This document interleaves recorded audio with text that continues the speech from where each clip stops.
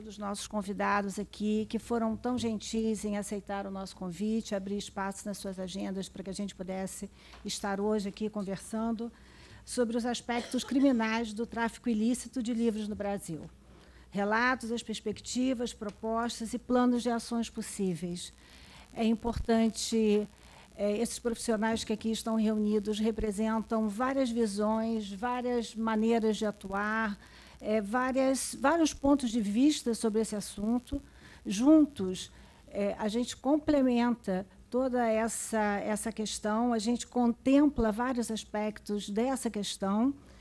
E, enfim, nós, é, conforme já foi dito, infelizmente, o, o Cláudio Deodato Simões, que é investigador do Departamento de Capturas e Delegacias Especializadas da Polícia Civil do Estado de São Paulo, infelizmente não pode estar aqui presente conosco, ele sofreu um acidente, está bem, graças a Deus, mas não havia condição de estar presente aqui. E nós estamos aguardando a chegada do agente da Polícia Federal da Delegacia Especial do Aeroporto Internacional, o Luciano César Bernardo da Silva, que está a caminho e, e já nos avisou. Cada é, debatedor hoje tem 20 minutos né, para se colocar, um pouquinho mais, se for necessário, porque a gente tem o espaço do, do Klaus.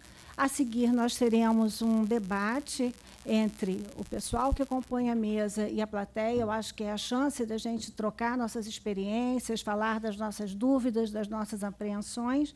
E, ao final, a gente vai tentar extrair né, um, uma síntese com recomendações é, a respeito dessa, dessa conversa de hoje. Então, por favor, eu peço ao doutor Paulo Teles de Castro Domingues, que é o delegado da Delemap aqui na Polícia Federal, que inicie a nossa conversa de hoje. Obrigada. É, boa tarde a todos. É, primeiro, quero agradecer o convite, né, que foi o convite que foi feito pela diretora, doutora Maria Helena, e pela nossa minha colega Maria José. Eu vim hoje aqui para falar sobre a atribuição da Polícia Federal em crimes contra o patrimônio e explicar um pouco, é, não só da nossa atuação, e citar nossos problemas que a gente tem no dia a dia, quando se depara com esse tipo de investigação. Bom, a primeira curiosidade é que quando vocês virem, eu trabalho na Delemap, que é a Delegacia de Meio Ambiente, Patrimônio, Delegacia de Meio Ambiente e Patrimônio Histórico. Ou seja, num dia, a gente está fazendo investigação de tráfico internacional de, de arara, mico-leão, dourado. No outro dia, eu estou sendo acionado por causa do incêndio no Museu Nacional. E no terceiro dia, eu estou trabalhando em cooperação com a Biblioteca Nacional em razão dos furtos que ela vem sofrendo. É, isso é um problema porque você tem pouco efetivo e tem que se dividir nessas duas é, matérias que são de grande relevância. São dois universos completamente diferentes, mas que têm pessoas envolvidas completamente apaixonadas. Eu, quando eu converso com uma pessoa do, do meio ambiente, olha, eu não tenho tempo agora porque eu estou na investigação do Museu Nacional. Aí ela fala, pô, mas tem uns animais que estão sofrendo, estão estão sendo traficados, o que, que você vai, pode fazer? Eu falei, não, posso fazer o que é possível, né? o impossível é ninguém é exigido. Mas a gente tenta, é, dentro da possibilidade, atender da melhor forma possível. Então, delegacia no meio ambiente e patrimônio histórico é por causa dessas duas atuações, a gente, a gente tenta dividir mais ou menos a equipe de acordo com as demandas. No, lá na delegacia, a investigação mais famosa que a gente teve de patrimônio histórico, ela aconteceu dois, na década de 2000. Eu acho que a maioria de vocês devem conhecer que foi o famoso caso do Laércio e a sua quadrilha, que ele, ele furtou diversas instituições públicas no Brasil inteiro, não foi só no Rio de Janeiro. E atualmente, né, eu acho que o pessoal da área sabe que ele, inclusive, foi no jornal, identificou que uma, uma obra de arte estaria até no, em posse do Itaú Cultural. E aí, tá, hoje o Itaú Cultural está fazendo cooperação técnica com a Biblioteca Nacional, de, em outras obras, para ver efetivamente que ele indicou que aquela obra teria sido furtada por ele. Eu estou citando isso porque isso está nos jornais, então não tem problema nenhum falar. Então, o que acontece? O Laércio, em 2000, ele, ele furtou Itamaraty, no, no, no Rio de Janeiro, Biblioteca Nacional, o Museu Nacional, o Jardim Botânico. Ele foi acompanhado pela delegacia, foram feitas. Ele foi preso uma vez pelo Rio de Janeiro, outra vez ele por uma investigação em São Paulo. E o objeto principal do Laércio era, além de fotografias, eram livros também. Por isso que eu estou citando o caso dele. O que, que é interessante quando a gente vai para a questão policial, os problemas que são apresentados numa investigação criminal envolvendo patrimônio histórico. A primeira dificuldade que a gente se depara é que as próprias instituições públicas, à época, elas não tinham um inventário do que elas possuíam. Então, o que aconteceu? Muitas delas sofreram furtos e não sabiam que tinham sido furtados, porque não havia um inventário. E isso foi uma questão muito problemática, porque a gente tinha informação de que aquele objeto poderia ter sido furtado de alguma instituição e a gente não sabia se efetivamente ou não tinha saído. Teve até, foi um, um caso até que eu notei que foi engraçado, eu não, eu não lembro ao certo o nome da instituição, e quando eles notaram que o roubo daquela instituição veio a público, eles resolveram fazer um inventário.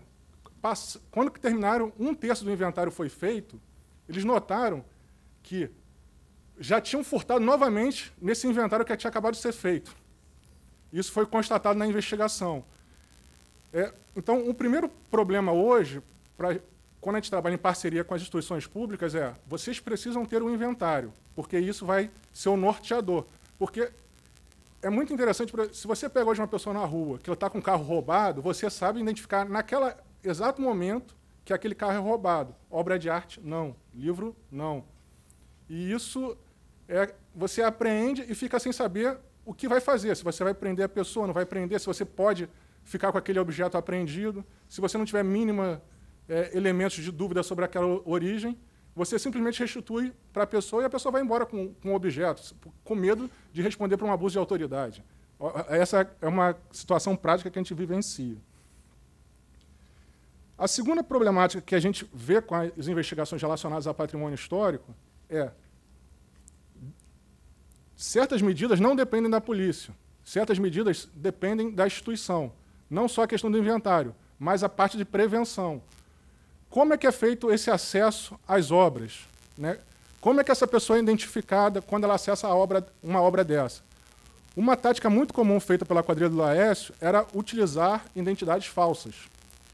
E aí ele acessava a obra com o nome de outra pessoa e a gente conseguia fazer mais ou menos, quer dizer, a gente, o pessoal que trabalhou na época, né, porque na, nessa época eu não trabalhei, mas eu digo quando a gente, eu digo a Polícia Federal, você conseguia fazer mais ou menos um paralelo que ele poderia ser o possível furtador daquela obra em razão da, do, do, do, controle que era feito nele, porque ele estava sob investigação, dos locais onde ele frequentava. Então, basicamente, o, uh, quando ele vinha no Rio de Janeiro, porque ele mora em São Paulo, quando ele vinha no Rio de Janeiro, se hospedava nos mesmos hotéis e, coincidentemente, quando ele saía, estava naqueles hotéis, eram os dias que aconteceram os furtos que foram noticiados na época.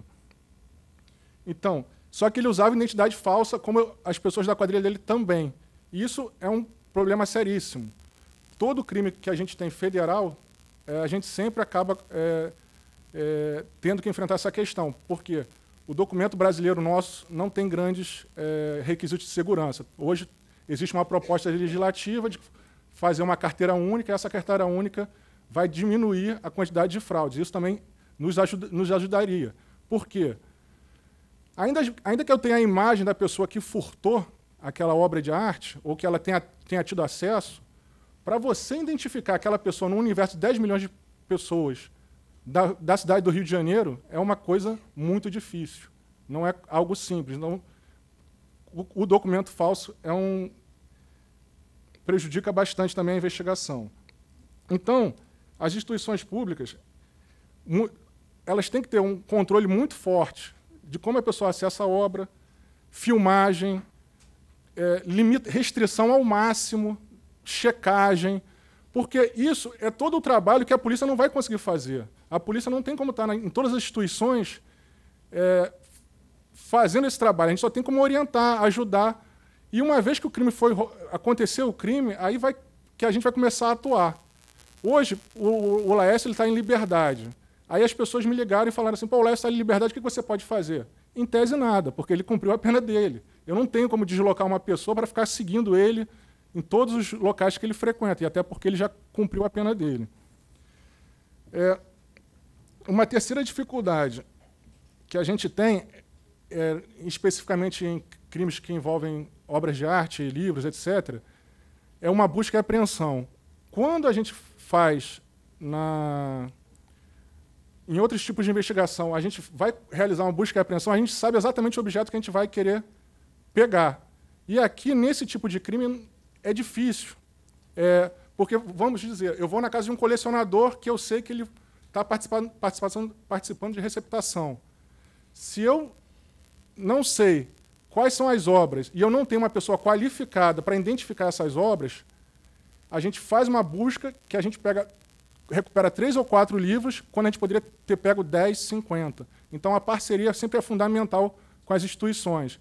A gente tem tentado, sempre quando a gente pede uma busca e apreensão em algum lugar, a gente pede autorização judicial para que uma pessoa especialista nos acompanhe. Apesar do risco da diligência, é, e se a pessoa concordar e o juiz concordar, a gente leva, e até porque, nesse caso específico, normalmente os locais são mais tranquilos do que é, em outros tipos de crime. Um, um outro problema que a gente tem também nas investigações envolvendo obras de arte é a questão do depósito. A gente aprende muita coisa e é, a gente tem que dar destinação para essas obras que são apreendidas o quanto antes. Porque quando se trata de dinheiro e droga, dinheiro a gente deposita, droga a gente quer queimar, e aquelas obras que ficam na delegacia? Se a gente não, se não tivermos é, a colaboração das instituições públicas de fazer a perícia, identificar, olha, essa obra é, é dessa pessoa, essa obra é da outra instituição, vamos dar destinação para isso, acontece muito de obras estarem é, estragando no nosso depósito. Recentemente a gente fez até uma doação, do, quer doação não, a gente fez uma entrega para a Biblioteca Nacional, fruto dessas investigações que foram feitas contra o Laércio, na época de 2000, 2000, as investigações foram até 2010, mais ou menos, e a gente conseguiu devolver algumas obras que a, que a Biblioteca Nacional, algumas ela vai se, se interessou, vai ficar com elas, outras ela vai tentar entregar, porque a gente não sabe nem de quem, a gente sabe que são obras, só que a gente não sabe, conseguiu identificar de quem pertence, justamente pela falta de inventário e outros problemas. O depósito. E um, uma curiosidade, nessa, nesse caso do Laércio também, um, uma das, um dos integrantes da quadrilha dele, eles levaram uma parte da, das obras para a Argentina e foram presos quando cruzaram a fronteira. Eu não estou me recordando os detalhes ao certo, o que ensejou a prisão deles, mas eles foram foi, foi preso e esse material ficou no, na, no depósito da aduana. O que, que aconteceu? Passados, passado algum tempo, eles, justamente com essa questão do depósito, que não é um problema tipicamente brasileiro, é um problema de todas as polícias que acaba acontecendo demais. O que aconteceu? Montaram um grupo e tentaram furtar o material que estava apreendido dentro da, do depósito da aduana. E aí esse pessoal foi preso também. Então, é só para vocês terem uma ideia de como é que as coisas acontecem, né? Assim, o mundo real, né? Mas eles foram presos. Hoje a Polícia Federal, ela não conta com peritos especialistas em obras de arte. Então, nossos peritos são vocês. É, é a colaboração, é a boa vontade. É...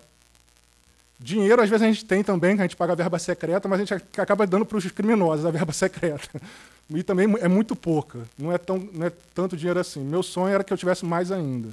Porque informação, o dinheiro que a informação nos traz não tem, não tem valor. É, isso a gente pode ver hoje no caso da Lava Jato. Por mais que possa doer para a pessoa falar assim, poxa, o cara é, ficou com 10 milhões, mas ele entregou 100. A gente não tinha nada. Infelizmente, esse cálculo é matemático, não pode ser, não pode ter emoção, não pode ter sentimento. O importante nesse momento é ser profissional. O que, quanto é que eu vou conseguir recuperar? Eu já não tenho nada. Se ele vai me dar 100, ele vai ficar com 10. Infelizmente, é, é melhor do que a gente não ter nada. E ele consegue entregar outras pessoas. Então, infelizmente, tem as questões morais, etc., mas eu já me convenci de que ou criei esse pensamento, bom, o importante é, é o resultado final. Se, se ele vai sair. É, esses, a pessoa especificamente vai ficar, não vai responder pelo crime, pelo menos outras 10, e talvez mais importantes, vão responder. Isso que a gente tem que pensar. É, o crime transnacional. Eu trabalhei também um ano na, no aeroporto do Galeão. Eu antes eu tinha trabalhado com tráfico internacional de drogas, e aí depois eu fui descansar no plantão do aeroporto, trabalhando lá no 24/7, para ver. E acaba que é uma grande é uma grande uma grande escola, um grande aprendizado. Por quê? Porque a gente está falando aqui de tráfico internacional, de obras, livros. Durante, durante o período que eu trabalhei no, no aeroporto, nunca chegou para mim qualquer notícia de investigação ou tentar aprender alguém que estivesse carregando é, obra de arte. A, infelizmente, hoje a gente está muito focado ainda na questão da droga, do contrabando. As obras de arte, eu, eu vejo que um grande problema é que o Brasil não tem também um cadastro único com todas, listando todas as suas obras, tudo que ele é, deveria estar procurando. Então, Minas Gerais tem um cadastro em razão da grande incidência que eles fizeram, é, mas o IFAM, não, o cadastro dele também não é, não, é, não é grande. Então, isso é um grande problema, porque a gente não sabe. E, e, e, não, e não, vem muita informação. A gente não está nesse. O Brasil ainda não, não desenvolveu muito essa cultura do tráfico internacional de obras. Isso é, infelizmente, é, é, é verdade. Mas, por outro lado, a gente contribui muito com a colaboração com a Interpol. Quando vem pedidos da Interpol, é, nesse tráfico de informação, é, esse funciona muito bem. Mas o nosso controle interno ainda está bem precário. É, uma outra coisa interessante. Possivelmente, agora, com. Eles estão querendo, com a, com a possível modernização da legislação, eles estão querendo aperfeiçoar a questão do policial infiltrado, e isso é muito interessante. Embora já haja previsão atualmente, uma das investigações de patrimônio histórico que eu participei de, de uma certa forma, não foi de obras de arte, mas foi justamente de um policial infiltrado que estava comprando uma, uma, um objeto que não vou nem falar aqui, porque um objeto específico, e aí já chegou toda a informação para a gente, um, justamente, da, só que era uma informação da, da, agência americana. O policial infiltrado fez toda a negociação e o, e, o, e o ato de compra ia ser realizado no Brasil. Isso é uma coisa muito boa para é, o combate ao tráfico internacional de, de obras e livros, etc. E o último ponto que eu queria destacar, assim, é, seria da eu apresentei essa, os problemas assim, mais comuns de rotina e atualmente a gente está com um trabalho em cooperação com a Biblioteca Nacional da, de tentar identificar obras que foram furtadas e que estão possivelmente com o destino certo, né? E a gente está tentando trabalhar isso. E basicamente eu acho que a minha palestra é só para trazer um pouco da minha realidade do cotidiano, porque eu sei o meu, o meu mundo é completamente fora do que vocês estão habituados, mas sem vocês eu não consigo fazer nada. A verdade é essa. Não tem, não existe policial, não existe polícia sem informação. É, às vezes, vindo uma palestra dessa, é, é importantíssimo, porque vocês passam a me conhecer de alguma forma. Um dia vocês têm como referência, olha, Pô, já falei com aquele delegado, pô, tem essa informação essa semana mesmo, em razão do, do, do incêndio do Museu Nacional. Um, um, um, dos funcionários do Museu Nacional, que foi ouvido por mim no inquérito, me passou uma informação sobre um, um leilão suspeito que estava ocorrendo em São Paulo. Então, eu estou de portas abertas. Eu acho que o mais importante numa palestra, não estou aqui para ensinar nada também, porque eu, eu sou bem novo nesse tema, mas acho que o mais importante é ter o meu contato num dia que, olha, a gente tem uma suspeita, a gente, está acontecendo isso. Eu seria talvez o contato aqui no Rio de Janeiro que poder, possa auxiliar vocês. Tá bom? Muito obrigado.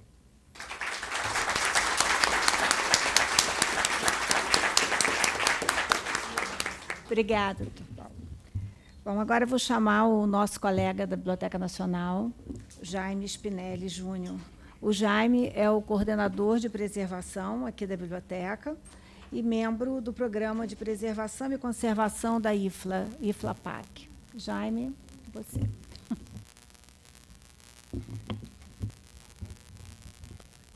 Obrigado, Maria José.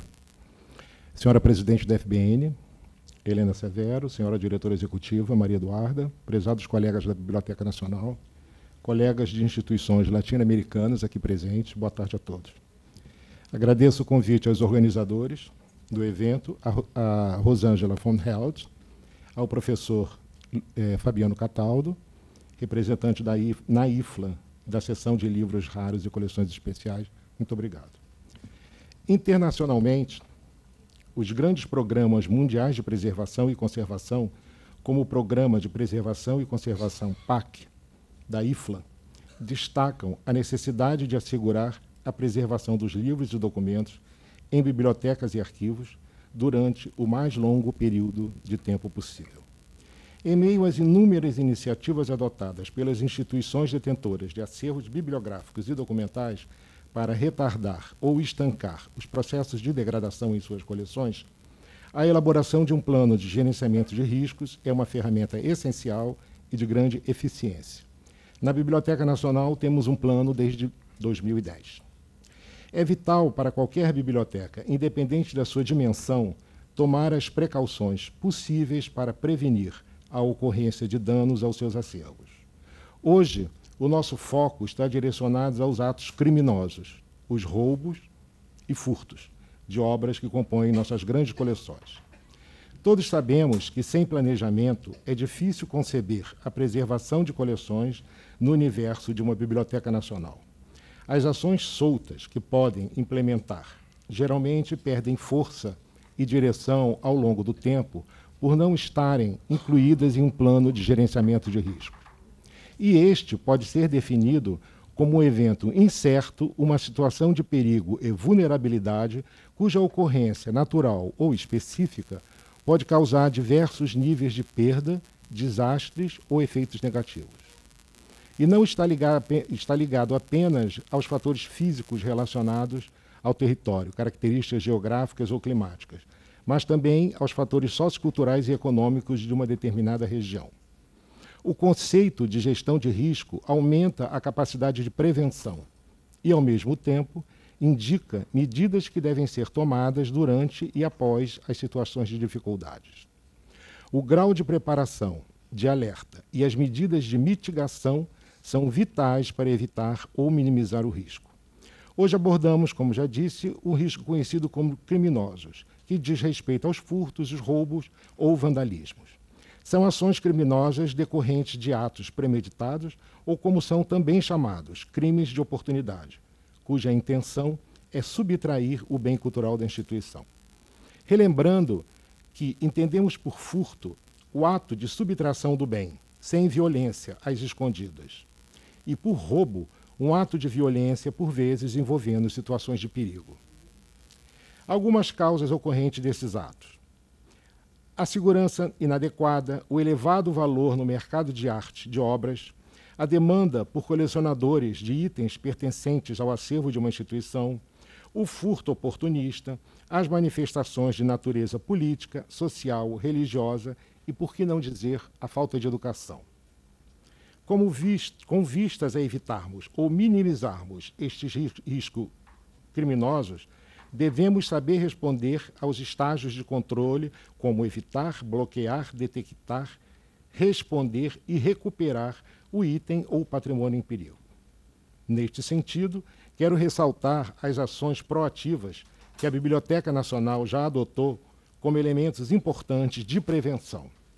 É muito importante que a gente fale um pouco sobre essas ações proativas já adotadas e andamento dentro da Biblioteca Nacional. Já contamos com uma decisão institucional para que todas as obras que pertençam à Biblioteca Nacional recebam carimbo de propriedade. Os carimbos usados devem seguir algumas normas, como secar rapidamente, não descolorir, ser estáveis e indeléveis. Na Biblioteca Nacional, passamos a adotar o uso da tinta fornecida pela Library of Congress, inicialmente para os documentos fotográficos pertencentes à coleção Dona Teresa Cristina Maria e depois para todos os itens que compõem os acervos da instituição. Para tal, foram confeccionados carimbos com resina da Dupont e são utilizados como uma balsa, espécie de madeira macia que serve de almofada.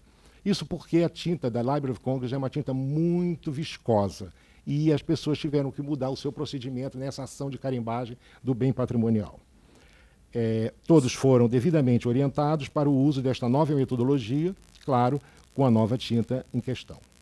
Relembramos também que somente a colocação de ex-libris nas obras não se traduz suficiente como elemento de marca de propriedade institucional, devido à ocorrência, com o passar do tempo, de soltura ou perda destes de seus respectivos livros.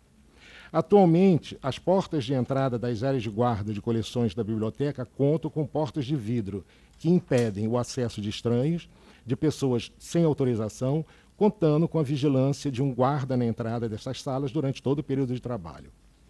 O acesso à consulta de obras já microfilmadas ou digitalizadas deve ser utilizado também com uma ação proativa de preservação dos originais para o manuseio frequente. Essas obras devem ser acessadas exclusivamente por essas vias. Uma ação de grande envergadura contra roubos de obras é a realização por parte de bibliotecários de um inventário. Na verdade, esta ação é uma espécie de um raio-x do acervo. É o momento que ficamos cientes de perdas ou outros danos que porventura tenham ocorrido com o acervo. O estabelecimento de horários pré-estabelecidos para consulta às coleções também é muito bem-vindo. A manutenção preventiva dos sistemas de segurança eletrônica, câmaras de segurança suspensas, que se localizam em todas as áreas importantes da instituição, como circuitos fechados CFTV. O impedimento à entrada de usuários com bolsas, sacolas, pochetes, pastas ou qualquer outro acessório que facilite a ocultação de itens do acervo no acesso às áreas de guarda. Este material deve ser guardado em escaninhos disponibilizados na recepção da instituição. Citamos como uma estratégia bastante útil para a identificação de riscos em nossas, nossas instituições a inspeção sistemática dos diferentes níveis de proteção do acervo. E estes incluem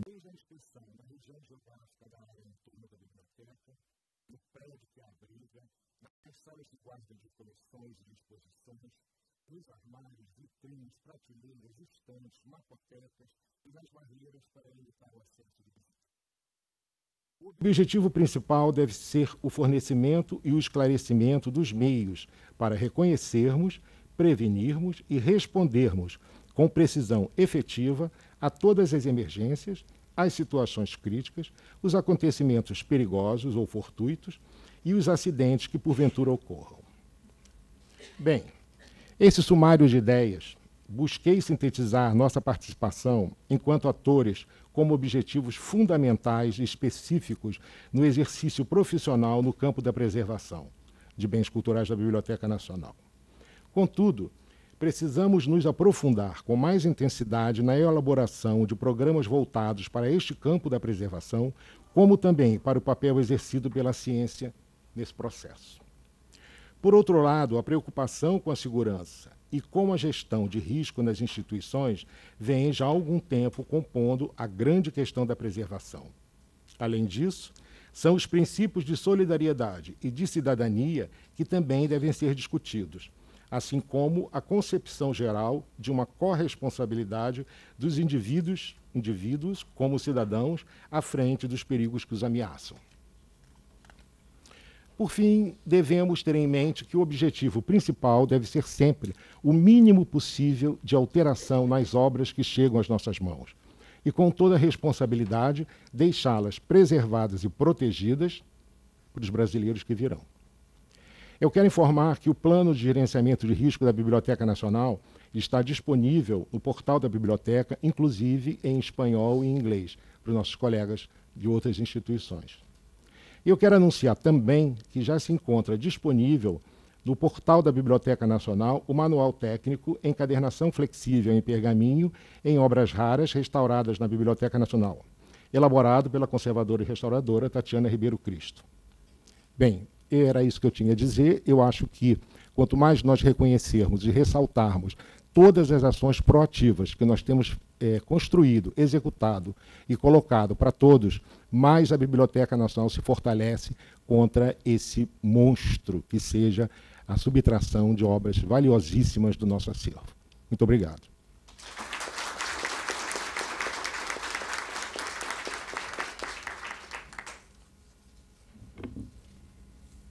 Com a palavra a nossa colega Luciana Grings, que é a coordenadora de serviços bibliográficos aqui da biblioteca.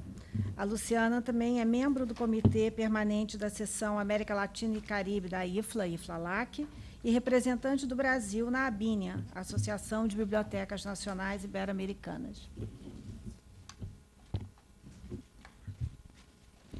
Boa tarde a todos. É, quero agradecer o convite. É, eu acho que é um, um momento ótimo para a gente começar a pensar um pouco mais a fundo nessas questões que envolvem é, é, patrimônio, né? A gente começar a lidar, a tratar com um pouco mais de, de, de de responsabilidade a, a, a ideia de que somos instituições de patrimônio, mesmo que não sejamos todos é, bibliotecas nacionais, tenhamos representantes de outros tipos de bibliotecas aqui, a gente lida com, com material patrimonial. Temos que ter, como já me falou, essa responsabilidade de é, é, cuidar do material para que ele esteja disponível para o nosso público. Né?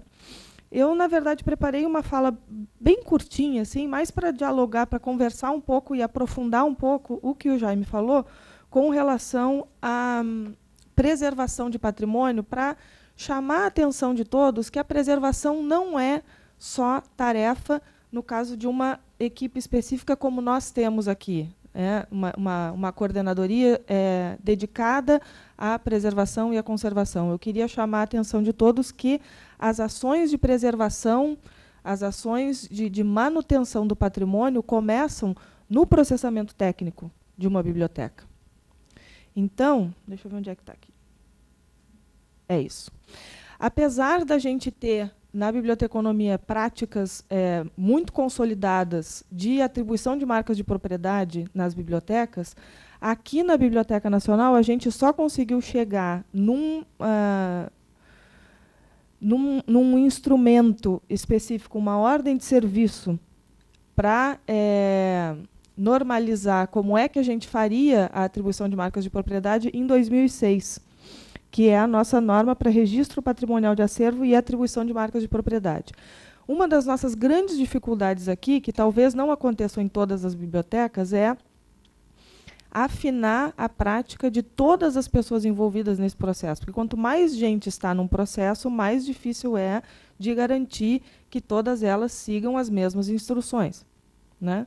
Mas é importante que a gente faça isso, que a gente faça esse esforço, e nós fizemos aqui na biblioteca a partir de 2016, para garantir que três, pelo menos três é, é, indicadores, três marcas de propriedade sejam é, atribuídas a cada um dos nossos itens de acervo e, sejam, e esse processo seja feito da maneira mais uniforme possível.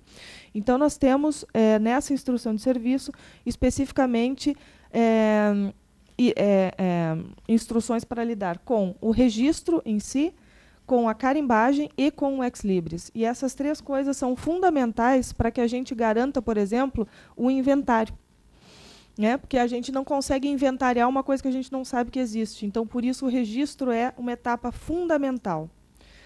Nós chegamos à conclusão aqui na biblioteca que o ideal era seguir esse modelo de registro, um formato uniforme, onde o número de registro está grafado naquele modelo ali, sendo é, com os, os milhares separados por ponto, indicando a modalidade de aquisição, que é uma coisa importante para nas bibliotecas. Então, aqui na Biblioteca Nacional, por exemplo, nós temos é, é, indicadores como AA, que é acervo antigo, as nossas obras que foram incorporadas ao acervo antes de 1945.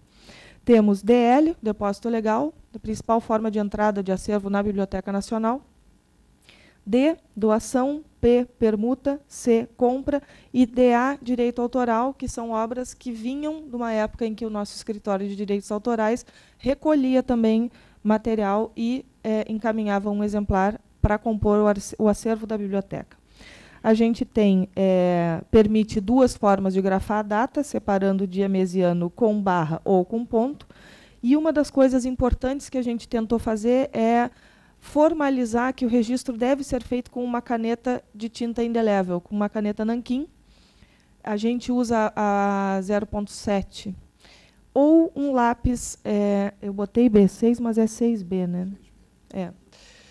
A pouca prática. Como eu não uso lápis, né? A gente usa cada vez menos lápis e canetas, mas saber é um pouquinho. Mas a gente usa lápis 6B nas, nas peças é, onde for mais conveniente, particularmente acervo iconográfico, esse acervo de obras raras, esse tipo de, de material. É, Casualmente, esse exemplo aí é um exemplo antigo, é anterior à instrução de serviço, então ele ainda está grafado com uma esferográfica comum e ele não tem, ele tem ainda o nosso carimbo antigo, que foi outra das coisas que nós tratamos de alterar e normalizar na instrução de serviço, que foi adotar esse carimbo, que foi desenvolvido pela equipe do Jaime. Nós tentamos fazer ainda, é, mirando na integridade máxima dos documentos, o Jaime desenvolveu um carimbo que é, é do tamanho mínimo é, que permita a legibilidade do conteúdo. Então, ele é bem pequenininho. Ele é no formatinho oval, de a resina Dupont, como o Jaime falou. A gente usa a fonte Garamond para isso. Usamos tinta indelével, a tinta da Library of Congress, que nós usamos, e uma base de carimbagem em madeira balsa. Isso tudo, de novo, visando legibilidade, visando a atribuição de uma marca que seja, de fato, uma marca, que a gente consiga identificá-la, que ela não fique borrada, que ela esteja acessível, que a gente consiga, de fato, identificar que aquilo é um material da Biblioteca Nacional do Brasil. E, por último, temos o nosso Ex Libris, que é uma obra de arte desenvolvida pelo Eliseu Visconti em 1902, é, a título de curiosidade, nós tivemos, eu acho que em 2010. Não, um pouco antes de 2010. Os Correios fizeram um selo comemorativo da Biblioteca Nacional com esse Ex Libris e eu recebi uma carta com esse selo. É. É, nós colocamos na instrução de serviço que a colagem deve ser feita com cola de metilcelulose, porque é a que menos agride o papel, apesar de ser solúvel em água, como a Zezé acabou de me esclarecer. E por isso é tão importante que a gente invista no conjunto das marcas, que coloque o ex libris e o registro e o carimbo. E a gente coloca ali também, esse ex libris tem a função de é, garantir que o livro tenha o número de chamada também colocado dentro dele, com uma inscriçãozinha a lápis. Eu falei tudo isso parece às vezes um pouco bobo, assim, é muito prático, mas eu acho que é importante que a gente perceba que são dessas pequenas práticas cotidianas que depende a atuação, por exemplo, dos nossos amigos policiais para identificar e trazer de volta os materiais para casa onde eles pertencem. Só isso. Obrigadinho.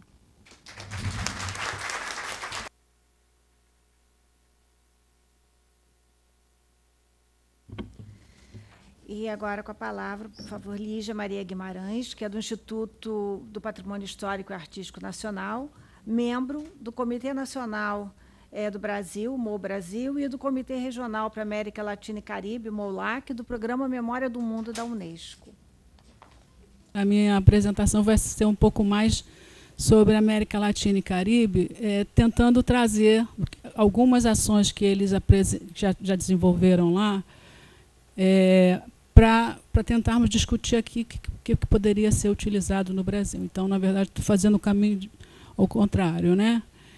E aí, é, pra, agora acho que vai dar tempo, porque a gente achou que não ia dar tempo, mas acho que vai dar tempo. Mas eu vou começar com, com um videozinho que foi criado pela Unesco, o, o escritório regional da Unesco em Montevidéu, que é muito ativo nessa área do patrimônio do, do tráfico ilícito de patrimônio documental na América Latina e Caribe. Tá? Vou passar só para a gente sentir um gostinho assim do que, que é o problema que a gente está lidando.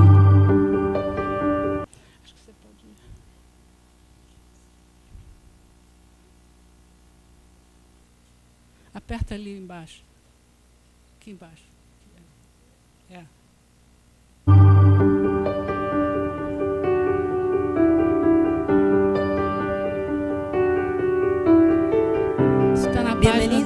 Museo del Patrimonio Cultural.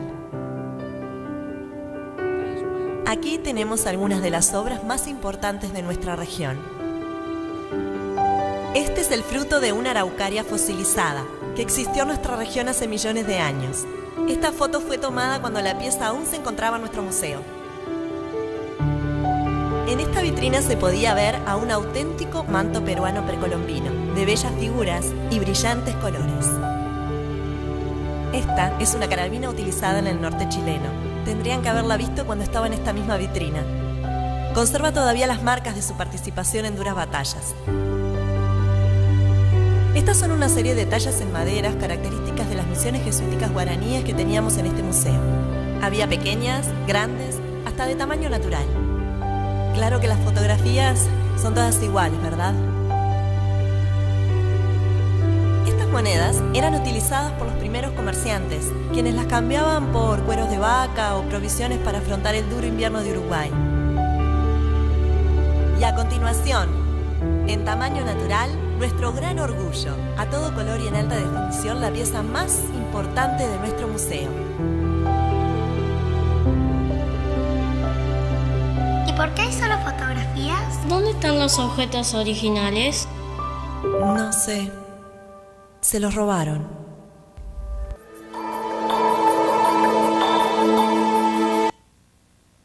Bom, eu achei esse, esse vídeo assim extremamente forte, né, no sentido de que nos dá a ideia de que é uma, é uma, uma briga que você não conhece bem, muito bem o seu inimigo nessa briga do tráfico ilícito. Né?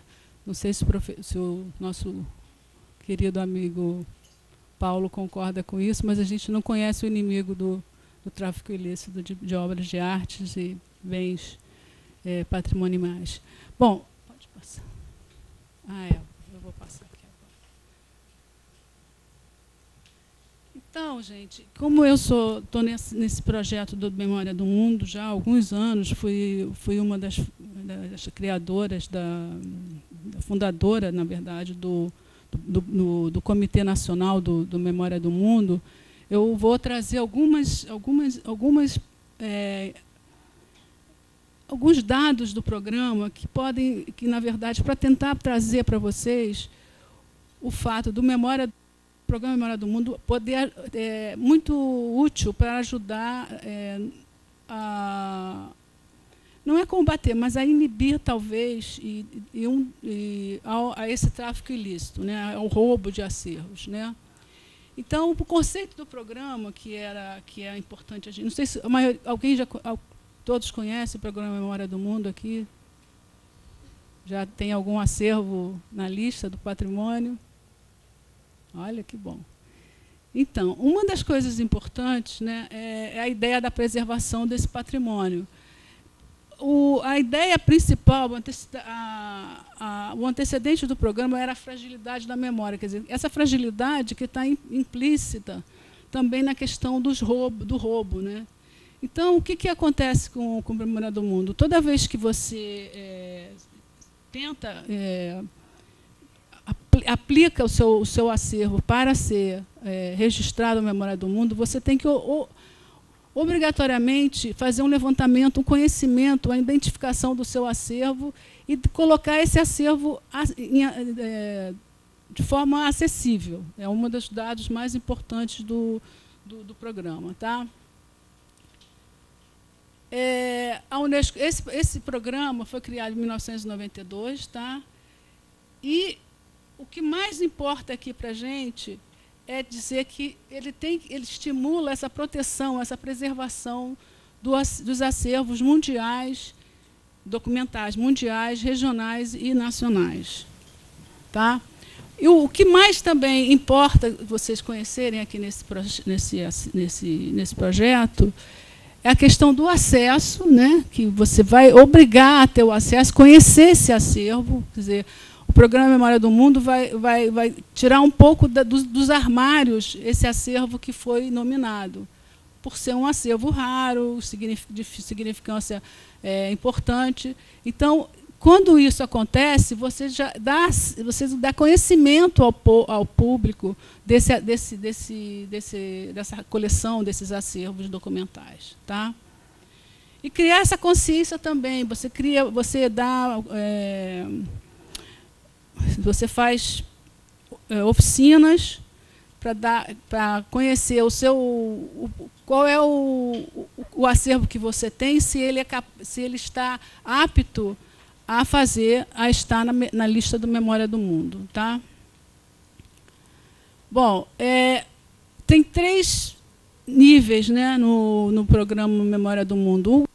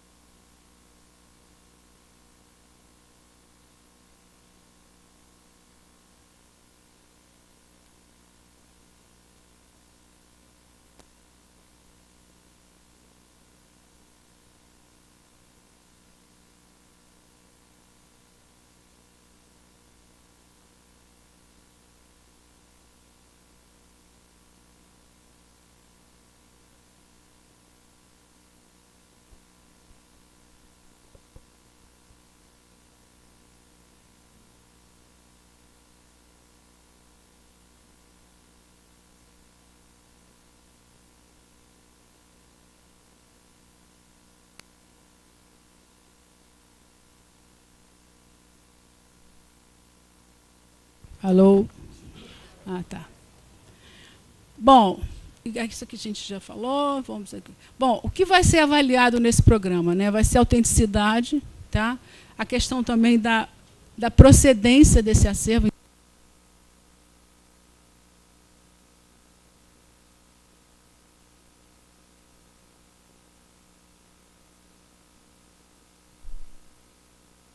Desculpa, mas ele está vermelho. É assim mesmo? Alô? Então, é, então essa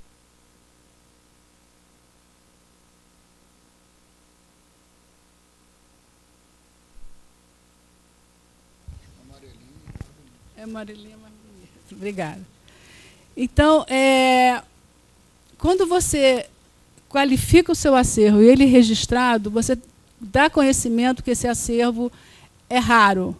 Isso pode, em algum, se for olhar por um outro lado, você vai ver que isso pode atrair mais é, interesse né, de, de roubo, talvez.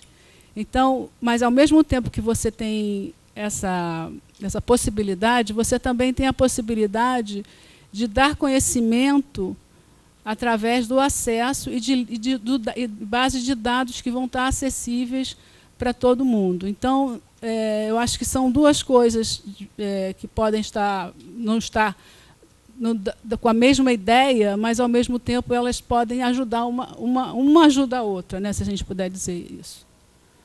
Tá? É, então, aqui é um pouco da cronologia tá, da, da Unesco, em 1992, como eu já falei. O MOLAC, que é o Memória do Mundo da América Latina e Caribe, foi criado em 2000, a criação, do, do, do MOL Brasil foi em 2004. E eu trouxe aqui alguns dados é, interessantes. Eu só me detive ao, ao a separar os acervos biográficos do, do regional e do, e do nacional, que são hoje você tem registrado 168 acervos, sendo que 57 são acervos bibliográficos e no, no, nacional brasileiro, né, até 2018, nós tínhamos é, 111 registrados, sendo que 12, somente 12 acervos estão, bibliográficos estão no Memória do Mundo Nacional. Agora, é, eu trouxe aqui, até o, o, o Fabiano já comentou, é, sobre o, o documento que é considerado o, o, o documento jurídico fundamental para a questão do tráfico ilícito de bens culturais no, no mundo, né? que é famo, a famosa Convenção do, da Unesco de 1970, que entra em vigor em 72, na verdade. Esse, esse, essa convenção, esse documento, ele é utilizado basicamente para tratar todos os assuntos na América Latina e Caribe. Eles, todos os, os, os, os documentos que foram escritos até hoje, é, dando uma ideia do que deve ser feito né, dentro da América Latina para o combate ao tráfico ilícito, está baseado um pouco nessa, nessa convenção de, sobre as medidas que devem se adotar e proibir, enfim, na conferência de, é, geral da Unesco. Tá? O, o endereço dela está aqui embaixo, mas é fácil de achar. Eu acho interessante ler, eu acho importante ler quem está realmente preocupado com essa, com essa área. Tá? Então, um dos, dos itens importantes dessa convenção é, é esse aqui, né, que que todo Estado deve proteger o seu patrimônio cultural. Bom, isso a gente parte do princípio que é, que é isso mesmo, né? não, não temos outras alternativas. Né? E, e também essa importação a e a isso está porque o, o, documento que eu peguei estava em espanhol, eu não tinha como traduzir no momento, mas eu acho que nós temos colegas de outros países da América Latina, talvez ajude aí um pouco. E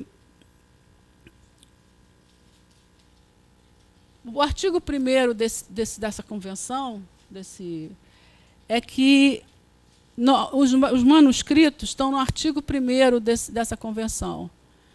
E eles diz que são os efeitos presentes da convenção consideram como bens culturais do processo por razões religiosas, profanas, e que são designados por cada Estado. Quer dizer, cada um decide o que é importante, o que é valioso para você.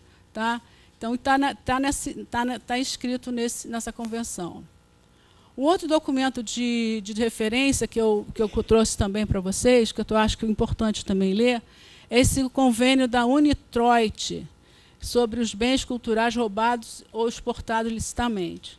Tá? Isso, na verdade, é uma, é, uma, é, é esse Unitroit ele, é uma questão. Eles, eles fazem leis é, comerciais para fazer para você é, é, unificar ações entre os estados. Então, na verdade, ela é mais ou menos uma, é, ela traz uma ideia de que como você deve harmonizar e capacitar e, e, e, e criar métodos de, de para aquela área específica do nesse caso o tráfico ilícito. Então ele é chamado de convênio sobre os bens culturais roubados ou exportados licitamente. Tá? Também está na, na, Eu acho importante também a gente olhar esse documento.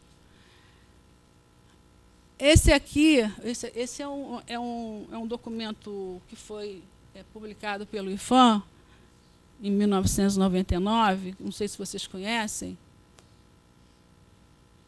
É, que foi, na verdade, uma tradução, não é nenhuma tradução, é a, é a edição de um documento que veio da veio de espanhol que foi criado no México, tá? pela Unesco do México.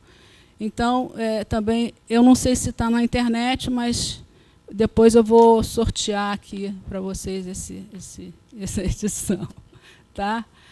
É, e tem, nós temos um termo de apoio entre o Ministério da Cultura e o Ministério da Justiça, o Departamento de Polícia Federal, desde julho de 1998, que, como o delegado falou, na, o IFAM tem uma lista, né, ele tem uma lista no seu site dos, dos bens é, roubados e desaparecidos, mas eu não sei qual é a situação hoje, porque eu não estou nessa área específica da, da, do tráfico ilícito do IFAM. Mas é, como está essa lista, se ela está atualizada ou não sou, sou, você que trouxe a defasada, né? Porque ninguém dá conta de tudo. É, são peças em geral. Eu não estou falando aqui do, papel, do, do documento, eu estou falando de alguns de alguns documentos, de algumas ações que já foram feitas para esse tráfico ilícito, que nós, que também, no caso desse documento, que é de bens culturais, está, está incluso o, acervo bibliográfico. Tá? E esse aqui é, já são algumas ações em curso para o combate do tráfico ilícito na, na na América Latina e Caribe também, que foi o primeiro seminário regional da, contra a prevenção de tráfico ilícito do patrimônio documental na Iberoamérica. Tá? Que foi na cidade de Bogotá em 2015. Quer dizer, o que eu estou trazendo para vocês, na verdade, já, já são algumas ações desenvolvidas na América Latina e Caribe e que já, já tem documentos né, formados com é, declarações, é, conclusões, enfim, que podem ser já trabalhados, reunidos, para que a gente possa fazer talvez um, uma, um documento mais é, geral do, da América Latina e Caribe. Tá? E algumas conclusões desse primeiro seminário regional foi, é, como aqui está é, nos primeiros passos que eles sugerem, né, que é institucional, falta da identificação de documentos, fundos de documentos coleções, recursos para consolidar os inventários nacionais, definições de políticas internas para a prevenção do patrimônio documental, Aí vem o internacional, rede de vendedores é, é, e, e, compradores, né? colecionistas e colecionadores, academias da história, fortalecimento de convênios de cooperação. O que eu acho que é mais importante dessa, desse, dessa nossa reunião aqui hoje é tentar trazer a questão da cooperação, entre, principalmente entre países e entre instituições. O que eu acho que no, no Brasil eu acho ainda muito solto a, uma ação de, tráfico, de combate ao tráfico ilícito do, no país. No caso de acervos bibliográficos, que é, o, que é o nosso tema hoje. Né? Esse, esse documento de referência sobre o combate ao tráfico ilícito do patrimônio documental, elaborado no Arquivo da Central do México e pela Associação Latino-Americana de Arquivos, que é a ALA, né? Ele foi apresentado numa reunião do que esse que o que o, que o Fabiano ficando velho. O Fabiano apresentou para a gente, que foi em 2016. Eu estou tendo uma cronologia desse, de, de, algumas ações da América Latina e Caribe. Né? Então, alguns pontos importantes do documento é, já foram muitos destacados aqui. Né? Constitui uma rede de especialistas que eu achei assim, super interessante, porque, como o, o delegado falou, não existem especialistas que possam estar é, dando um apoio à Polícia Federal, né, ou, mesmo dentro do quadro da Polícia Federal. Não, eu, eu tenho, mas eu acho que como é que ele ia entrar se ele não tivesse uma necessidade, né? Como é que ele poderia estar nessa, nessa, nessa sua equipe? Se ele não tivesse um conhecimento, uma, um, sei lá, um, um, treinamento, sei lá, uma coisa mais próxima, né? Eu achei também facilitar o acesso de organismos como a Interpol nas investigações. O que eles deixam claro é que muitas vezes é uma burocracia muito grande para che chegar até a Interpol para chegar a falar do que foi roubado, do que, é, de como, como é que tem que tem que ser os, os quais são os mecanismos para começar o trabalho de investigação e também é, uma coisa que eles falam que é muito interessante, que são muitos papéis para preencher, muitos né, formulários para preencher até você chegar. Então, é uma sugestão desse documento. Né? Desenvolver instrumentos de controle e consulta ao patrimônio documental. Então, é outro também que já foi falado aqui há algum tempo. Regular as atividades de comércio de documentos e livros. Quer dizer, como é que se dá esse comércio hoje de compra e venda de livros, né? principalmente livros mais raros. Né? O que eles falam, o que eles também trouxeram, que eu achei interessante, era é, incorporar os documentos mecanismos de identificação não agressivos. Nós falamos dos, dos, dos, carimbos, das, das marcas d'água, dos ex-libris, mas eles sugerem que exista um mecanismo que não é que não seja agressivo, que possa identificar aquela obra, tá? nós, como restauradores, chegamos a tremer na base aqui.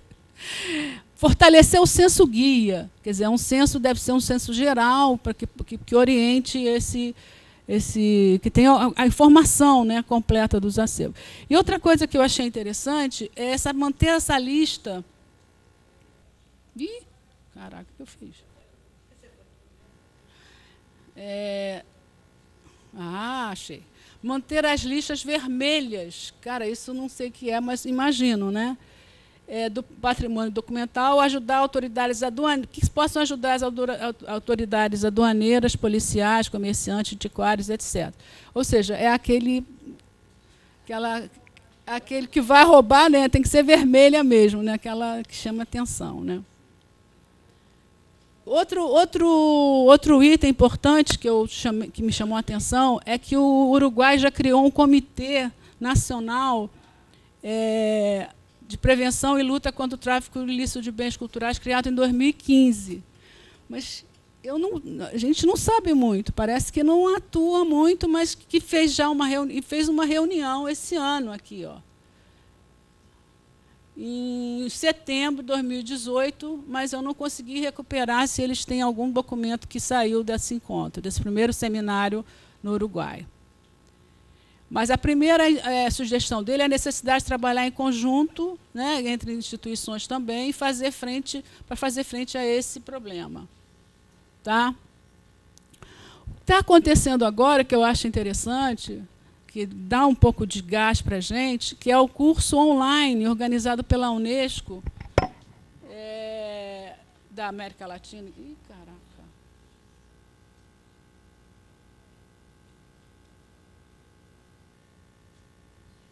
É, é a questão do, do curso de, de oficiais, né, agentes judiciais na proteção de patrimônio através da luta contra o tráfico ilícito de bens culturais. Tá? É esse, esse curso aqui que está acontecendo agora, entre 18 de outubro e 14 de dezembro. Tá? Um, Para capacitar agentes judiciais na proteção. Tá? A proposta pedagógica é essa aqui, que foi essa, essa rede, rede, não sei se você conhece, Paula, essa rede ibero-americana de escolas judiciais, né, uma plataforma virtual de acesso livre, desenvolvida pela, pela própria rede, né, informar, promover capacitar através de instrumentos normativos, quer dizer, principalmente baseado, mais uma vez, na Convenção de 70 e no Unitroid, no Unitroid 1995. Tá? Eu vou deixar esse, esse PowerPoint aqui, que eu acho que, que vai dar uma Bom, essa conclusão, então, que eu gostaria de trazer para vocês, né, como que o Memória do Mundo e, o, e, o, e esse combate poderia se comunicar. E eu acho que a, a maior importância é criar consciência, né, né, como, como o próprio programa Memória do Mundo, em todo o mundo sobre a existência da importância do patrimônio documental. Ponto. Né? Que eu acho que, é, que a gente precisa eu acho que o, o, o, interesse pela proteção, pela preservação do patrimônio documental como todo, o arquivo visto, bibliográfico e, e, museo, museológico, estão dentro de museus, né? é, é fundamental para a gente é, começar a dar alguns passos na direção de, de, do combate né, desse, desse, dessa ideia de pra, tráfico ilícito do, do patrimônio cultural. Bom, facilitar, e isso já o Memória do Mundo ajuda, facilitar a identificação e o acesso aos acervos para você possa é, conhecer né, o, que, que, o que, que você tem e o que, que, não, que, que, é, que, os, que, esse país, esse uh, universo, né, no sentido do internacional, tem no, é, em termos de, de, de bens culturais é, raros. Né? É, também o, a promoção desse, desses editais a níveis internacional, regional e nacional, é, eles vão trazer, vão ter um objetivo muito importante, que é identificar e preservar o patrimônio documental. Agora, a questão da estratégia para o desenvolvimento da política de gestão de risco que o, que o, que o nosso querido Jaime falou muito bem, porque começa, na verdade, é, a identificar, ser, ser identificada dentro da própria instituição, né, da própria, da, do próprio, é, da própria coleção, que é a, que é a questão do, dos riscos que elas estão mais iminentes. Né? E a, o, a Unesco da, da, América Latina e Caribe, no, em Montevidéu, é, fez uma, um concurso de, de pôsteres sobre o tráfico ilícito que está que tá e que o, o, ganhador foi esse aqui, ó. Ups. O ganhador foi esse aqui, ó. Nessa página aqui que eu não não vou conseguir abrir porque eu já tentei, não consigo. Apesar que eu de copiar de lado, eu é, tem vários tem vários outros cartazes que, que participaram desse concurso um mais, mais interessante que o outro. Então, também é uma questão de, de tentar. Está na página da, da, da, Unesco da América Latina e Caribe, é, da, em Montevidéu. Tá? Se vocês. E o, e, o, e o filme a gente já viu o vídeo. Então, eu queria que vocês é, só usassem o que eu apresentei como algumas estratégias já sendo colocadas em práticas no, na América Latina e Caribe. Tá? Desculpe a confusão do, da apresentação. Um abraço. Tchau.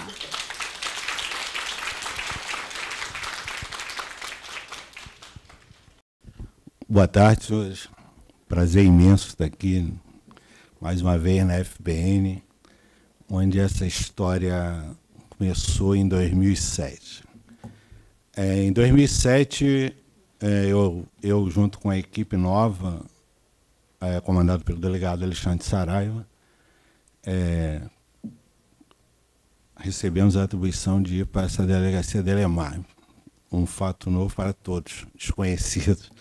Atuávamos na área de entorpecentes, na área de crimes contra bens da União, tipo sonegação fiscal, desvio de servidores públicos, mas nada ligado a essa área. Então era um desafio fascinante e ao chegar lá nós tínhamos um inquérito que estava parado, praticamente parado, desde 2005, que era o furto da FBN.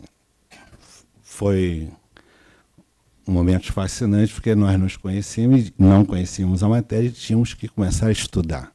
Fui designado pelo delegado Saraiva a investigar o caso. Vou rápido porque essa história é muito longa. Minha passagem lá foi de 2007 até 2010, mas com vários eventos fantásticos que ocorreram nesse período. Mas o que eu vou focar aqui os pontos principais. É, eu já não trabalho mais na, na, nesse tipo de crime, mas os servidores dessa área, os amigos que fiz nessa área, sempre me mantêm contactado com ela e devido a até essa ligação forte que ficou com os servidores da FBN de outras áreas, de, de servidores públicos ligados aos bens culturais, que eu estou aqui hoje relatando os fatos. Sempre são fatos muito interessantes, né? Até quando eu vou, estou com meus amigos da polícia, cara, sai encontro de polícia, só se fala de polícia, né? Então nós ficamos conversando, prendemos tal, prendemos governador, prendemos. Quando chega a minha parte, eu sempre assim, pô, eu vou contar um pouco da minha passagem pela Delemar.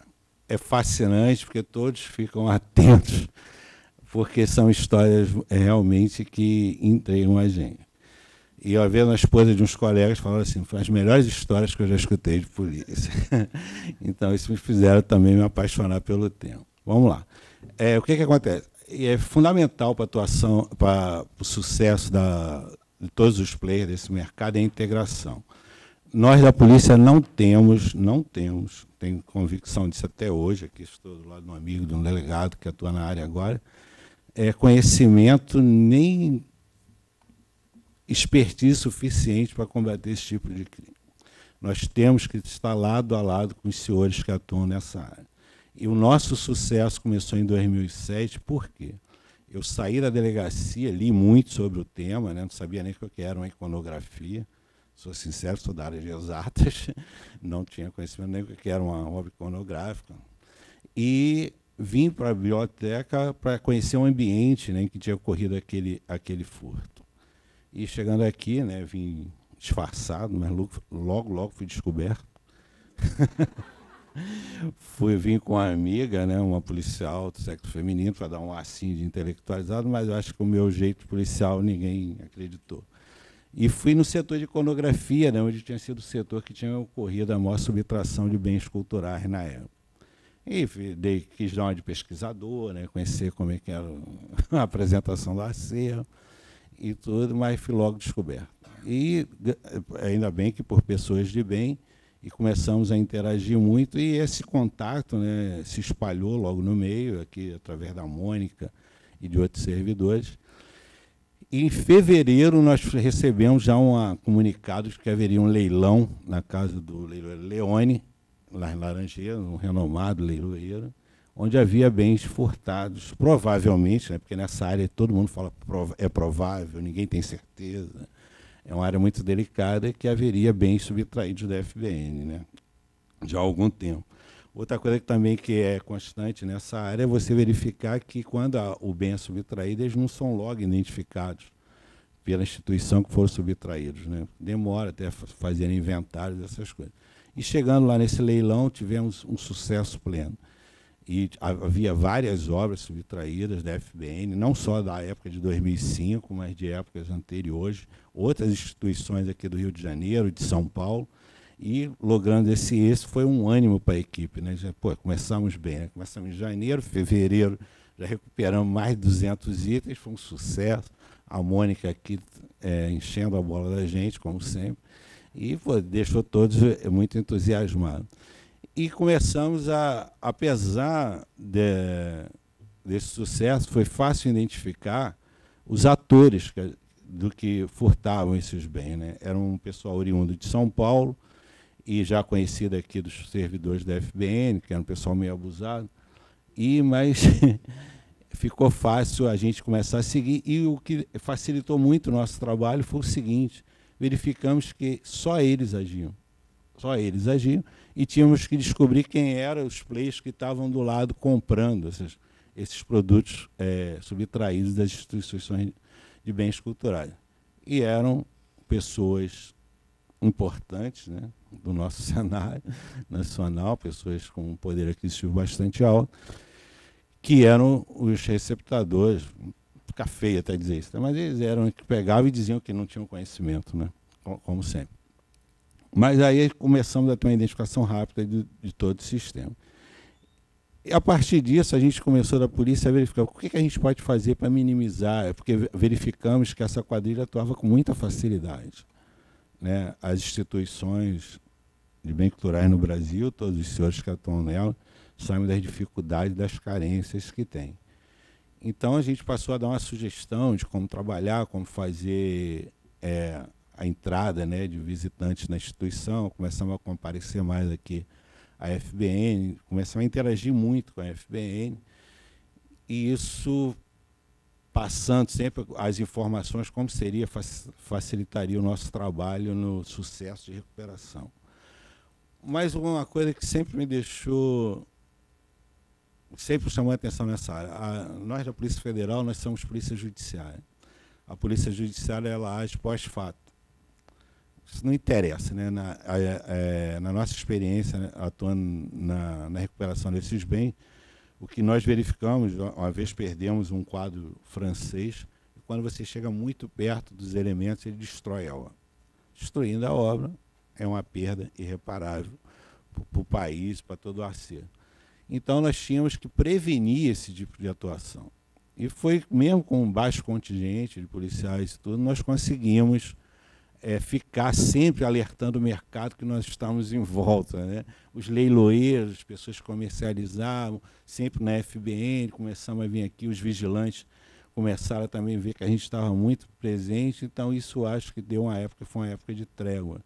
E, e passou a ser o nosso objetivo depois prender os meliantes que estavam, no caso, não sei se vocês conhecem, sabe o nome dele, Não sei se. se...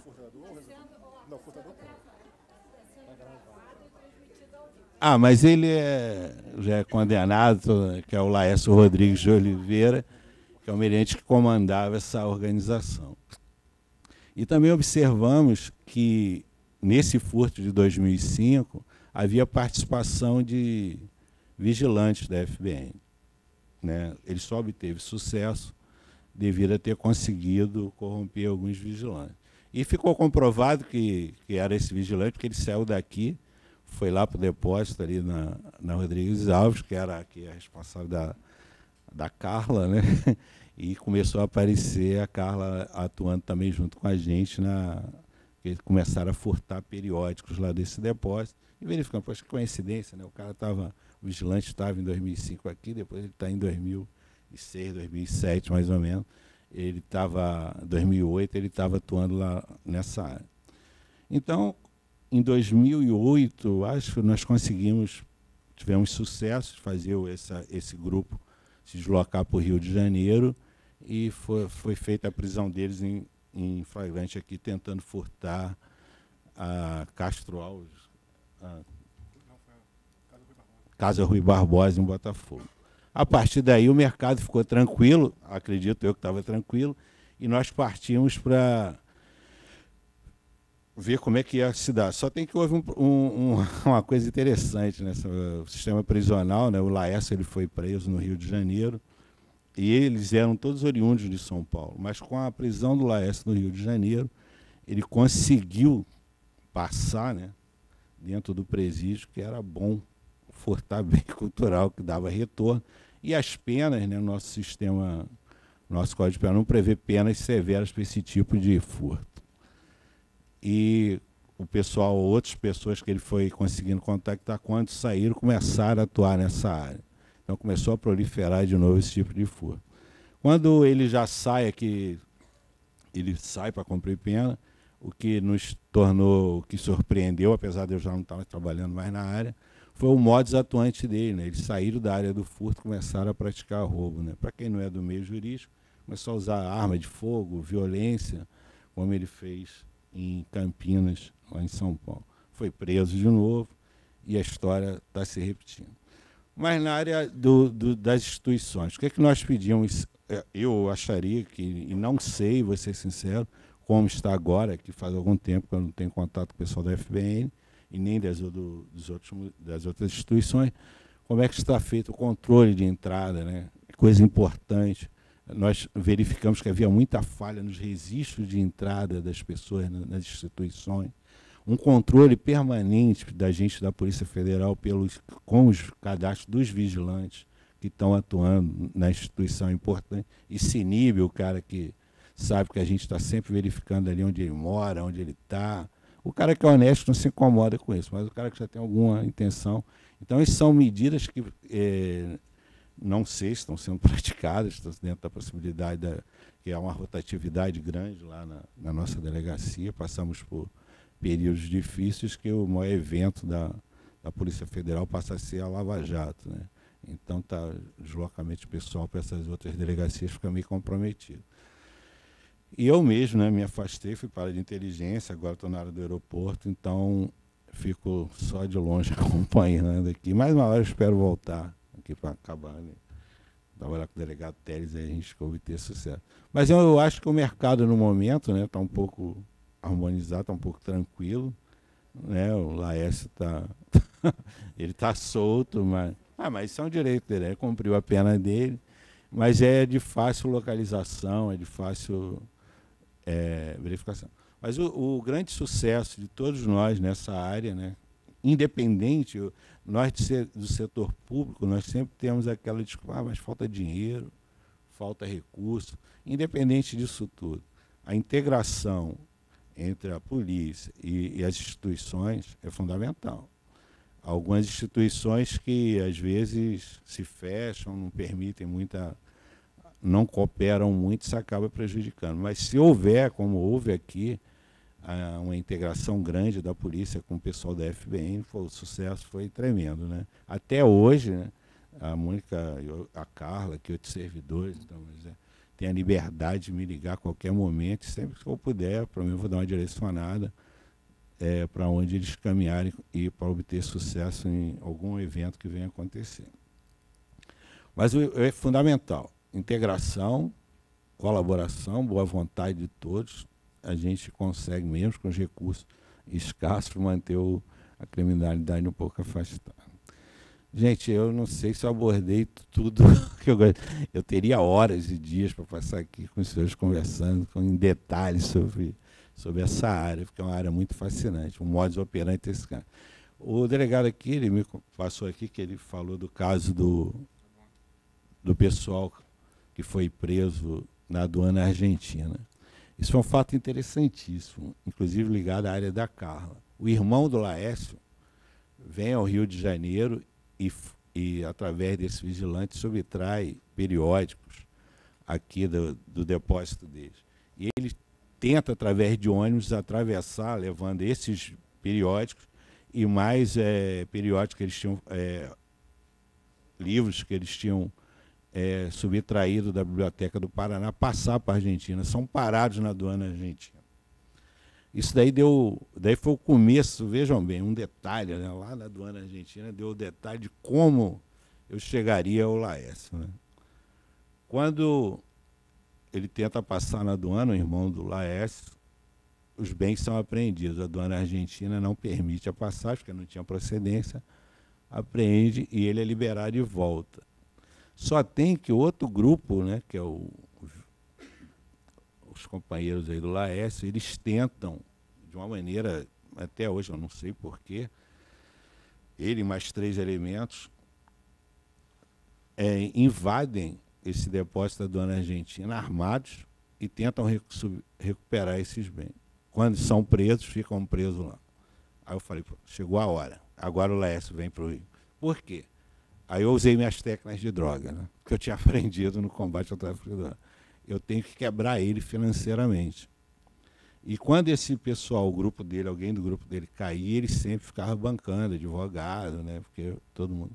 E eu falei, com o pessoal preso na Argentina e outro pessoal que ele tinha perdido aqui na USP, que tinha sido preso, eu falei, é a hora que ele vai vir para o Rio de Janeiro, porque eu não poderia atuar em São Paulo, né? Teria que tentar trazê-lo para o Rio de Janeiro. E, e, e, tivemos sucesso nisso. Vamos quebrando ele até o momento que ele chega e vem para o Rio de Janeiro tentar passar os bens que ele tinha em depósito aqui no. Aí ficou fácil porque a gente sabia que ele vinha, né? Ficamos só esperando ele atuar e ele foi na para essa casa a Rui Barbosa, desculpa a minha moto ficando é, a Rui Barbosa, onde foi fácil a prensa. Só esperamos ele atuar, né? Quando ele chegou lá, estava cheio de bens culturais subtraídos de várias instituições no hotel, os comparsas dele, foi fácil ali. E foi esse evento e, e, mudou um pouco a história. Por que, que eles agiriam dentro de um país estrangeiro, né? Armados, arriscariam? Deixou entregado, mas devido à distância a gente não conseguiu levantar muito bem isso. Depois o pessoal foi solto, voltou, voltou para para criminalidade. E eu não e depois esse um esse elemento que foi um desses elementos foi preso na Argentina participou não sei se vocês souberam daquele subtração do do quadro enterro de Portinari da, do museu de Pernambuco. E nós da Delemap do Rio de Janeiro mais uma vez recuperamos o quadro apesar de não ter sido um bem da União, né, era um bem de, de propriedade do Estado de Pernambuco, quando eles se deslocaram para o Rio de Janeiro, o que também caracterizava uma, um, uma área que eles não conheciam bem, que o bem cultural é fácil deles comercializar, mas um, uma obra de artista, né, uma obra única, tipo um Portinari, o apesar do valor elevado, ela é difícil de circulação, né? Só quem vai comprar é alguém que vai deixar ela subtraída, escondida. E quando ele vem ao Rio de Janeiro tentar vender, a gente já estava no encalço deles, conseguimos fazer essa apreensão. E, mas é uma, uma, uma coisa que não acontece muito no Brasil, que é o tipo de furto desses artistas renormados. Né? Não há assim um, um quadro relevante dessa área. Não há até agora isso. Apesar de ter aqueles quadros da Chácara do Céu, né? Que foi roubado no carnaval de, também de, de 2005, que até hoje não foram recuperados. Mas esse oportunário foi meu último trabalho na Delemar, eu consegui recuperar. Gente, é isso. Então é uma enorme satisfação estar aqui, contando um pouco da nossa história aqui para os senhores e agora a Polícia Federal aqui com a participação do delegado Teles lá, e o Anderson, então, delegado Anse titular, tem sucesso, tenho certeza aí que a parceria aqui com as instituições vai manter o mercado calmo, como está sendo até agora. Eu estou no aeroporto e, e com a minha experiência nessa área, né, sempre que eu posso, eu tento, quando eu vejo assim, algum, um livro, encuná-lo, alguma coisa assim interessante, eu tento ver se acha um carinho, alguma coisa. né? A pessoa vai, escrever livro, não, deixa eu dar uma olhada aqui. Né? Sempre, né, para ver se acha alguma coisa, mas não estou logrando êxito, não. Ainda bem, né? Ainda bem que eu não estou vendo nada, a pessoa tentando sair de maneira escondida. Mas é isso. Obrigado aí pela atenção. Não sei se é, atendeu a curiosidade de todos.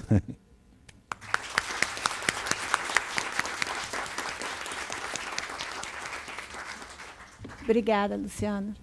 Bom, agora a gente abre para os debates, para as perguntas, para as colocações.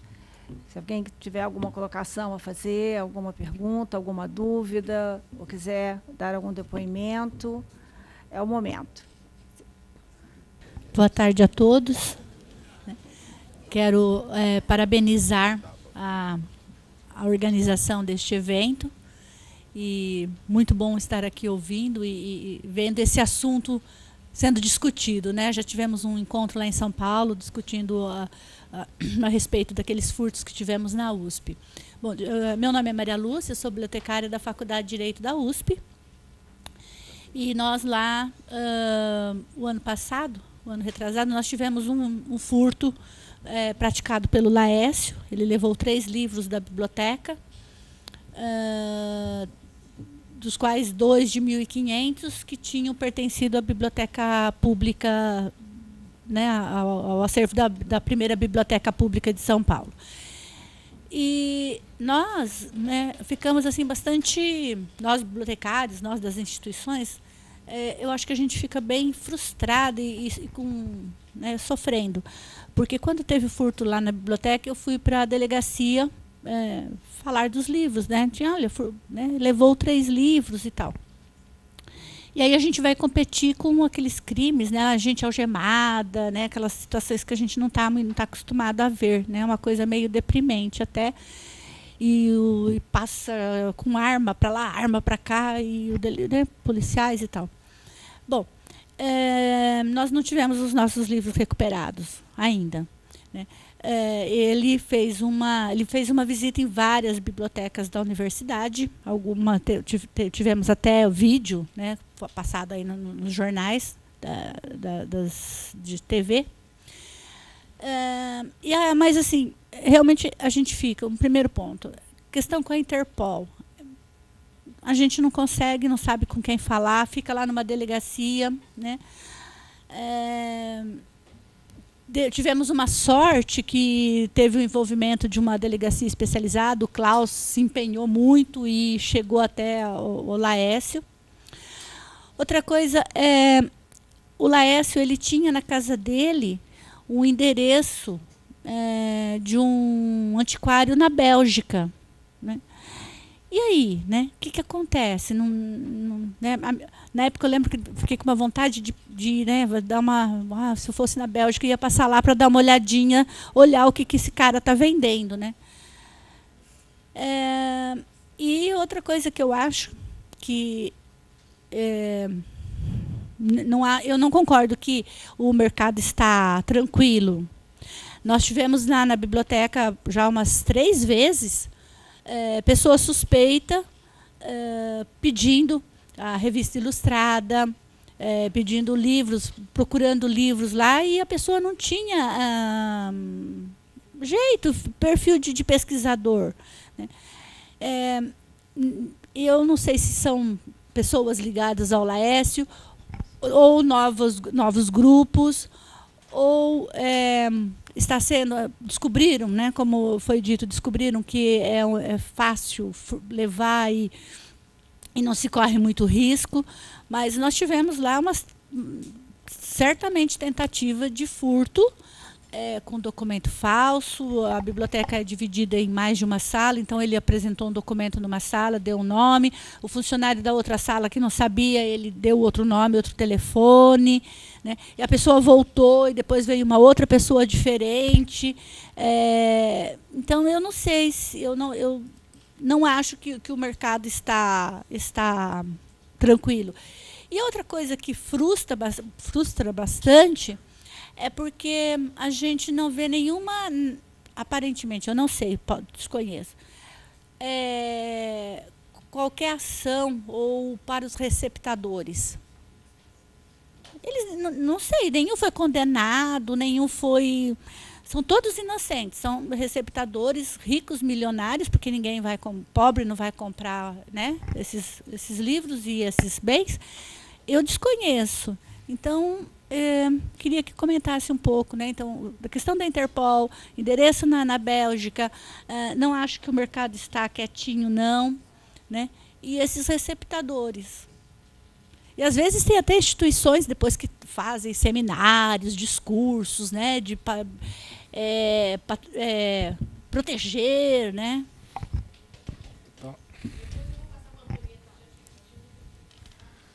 Então, é, que negócio, eu não posso falar tudo porque tem coisa que está sob sigilo até hoje.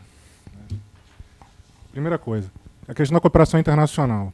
Eu tive experiência com cooperação internacional quando eu trabalhei na, no grupo de investigação sensível com tráfico de drogas. E um amigo meu falou que uma coisa muito simples. Ele falou assim, cara, a única, a única diferença é que a pessoa não fala a sua língua, mas é como você falasse com outro policial de Caxias. É que as pessoas normalmente ficam é, é, ficam com medo assim, pô, vou, vou, fazer um ato de cooperação internacional, o que, que, é isso? E hoje é bem simples, na verdade. É, basicamente, se a gente hoje precisa de uma informação, dependendo do tipo de informação, existe o DRCI, tem um formulário, você preenche esse formulário em português. Se for nesse. Obviamente, precisa é, traduzir para a língua que eles exigem, normalmente o inglês, né, que tem que ser uma das quatro línguas oficiais da Interpol, às vezes. Eles seguem, acho que, mas o, o inglês na língua do país, quando é cooperação internacional com, com o DRCI. Você preenche esse formulário, às vezes, às vezes você envia, o problema é a demora nessa resposta. Existem diligências policiais que a gente faz é, direto com a, com a agência de lá, sem precisar passar por esse canal. Geralmente, cooperação internacional é quando precisa, por exemplo, de sigilo bancário, fiscal, alguma medida com apreciação judicial. Aí você segue esse canal. Senão é, é caminho direto. A cooperação direta não tem grandes mistérios. É, sobre a Interpol. O que é a Interpol no Brasil? Né? A Interpol, no, no, no, no, no Brasil, ela, quem representa ela é a Polícia Federal. Então, toda a superintendência da Polícia Federal tem um representante ou, da Interpol ali. Ou seja, um delegado ou um agente vai ser responsável pela Interpol em cada estado. Então, e o que, que a Interpol exige? Mesma coisa que o DRCI.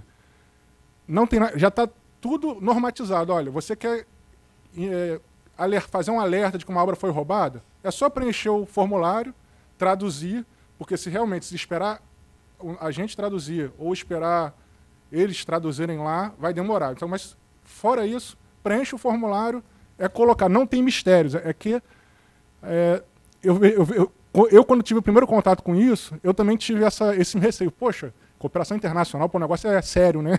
Mas não, é simples, tá já tudo padronizado. É porque as pessoas não têm o conhecimento, é só correr atrás que é fácil resolver.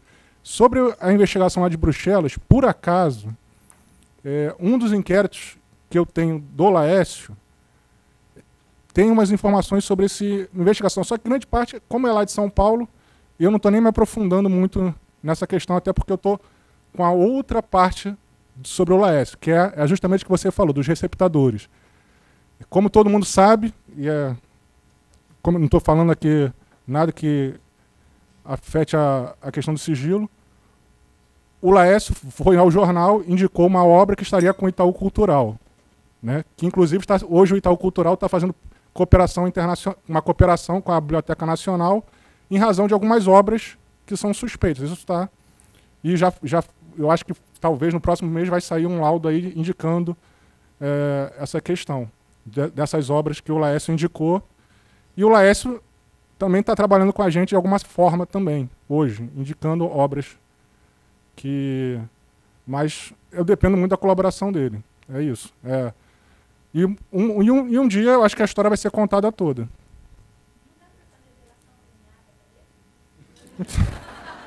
Então. Então. É, deixa eu só. Deixa eu só. Esse é o problema. Qual? O que eu tenho de registro dele, é, atualmente, foi, foi as, as, duas prisões que ele passou e teria extinguido a, a punibilidade dele agora. Eu não sei de processo que ele está respondendo aqui no Rio, não.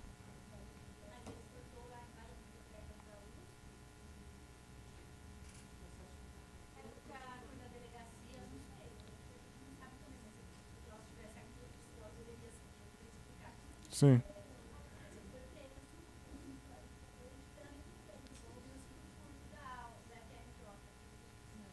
Sim.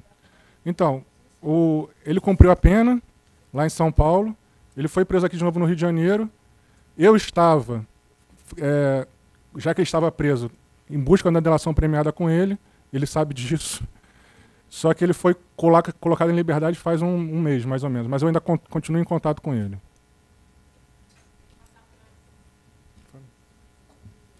Ele só quer. Olha só, no, no tempo que eu passei na Delemap, eu tive, escutei relatos iguais ao da senhora. Tipo, a, teve uma biblioteca de Juiz de Fora que também foi furtada, a diretora foi na delegacia, o cara falou, eu tenho três homicídios, dez latrocínios, depois eu vou ver. Disse, lógico que a, é falta de recurso material. A, a, polícia, falar do Rio de Janeiro, a polícia do Rio de Janeiro ela não tem, não sei se tem atualmente, pelo menos na época que o delegado Beltrame, que era o secretário de segurança, não criar uma especializada na Polícia Civil do Rio de Janeiro de bem culturais. Né? Isso não vingou, eu acho. Não sei se São Paulo tem, apesar do pessoal de São Paulo ser bem.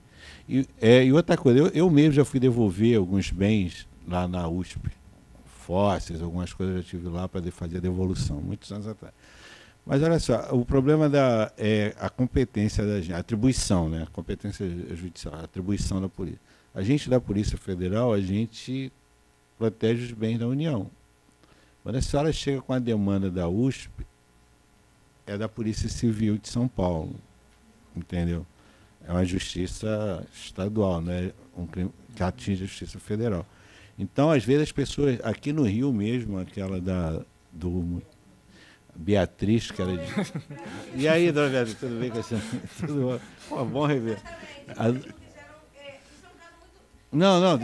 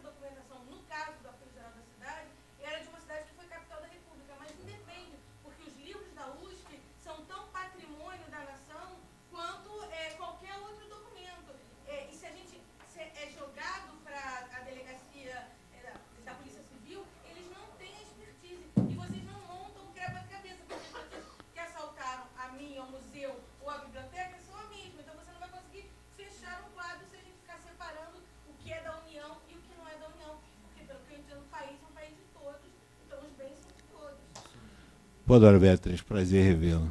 Obrigado. um prazer estar compartilhando o mesmo espaço novo com a senhora.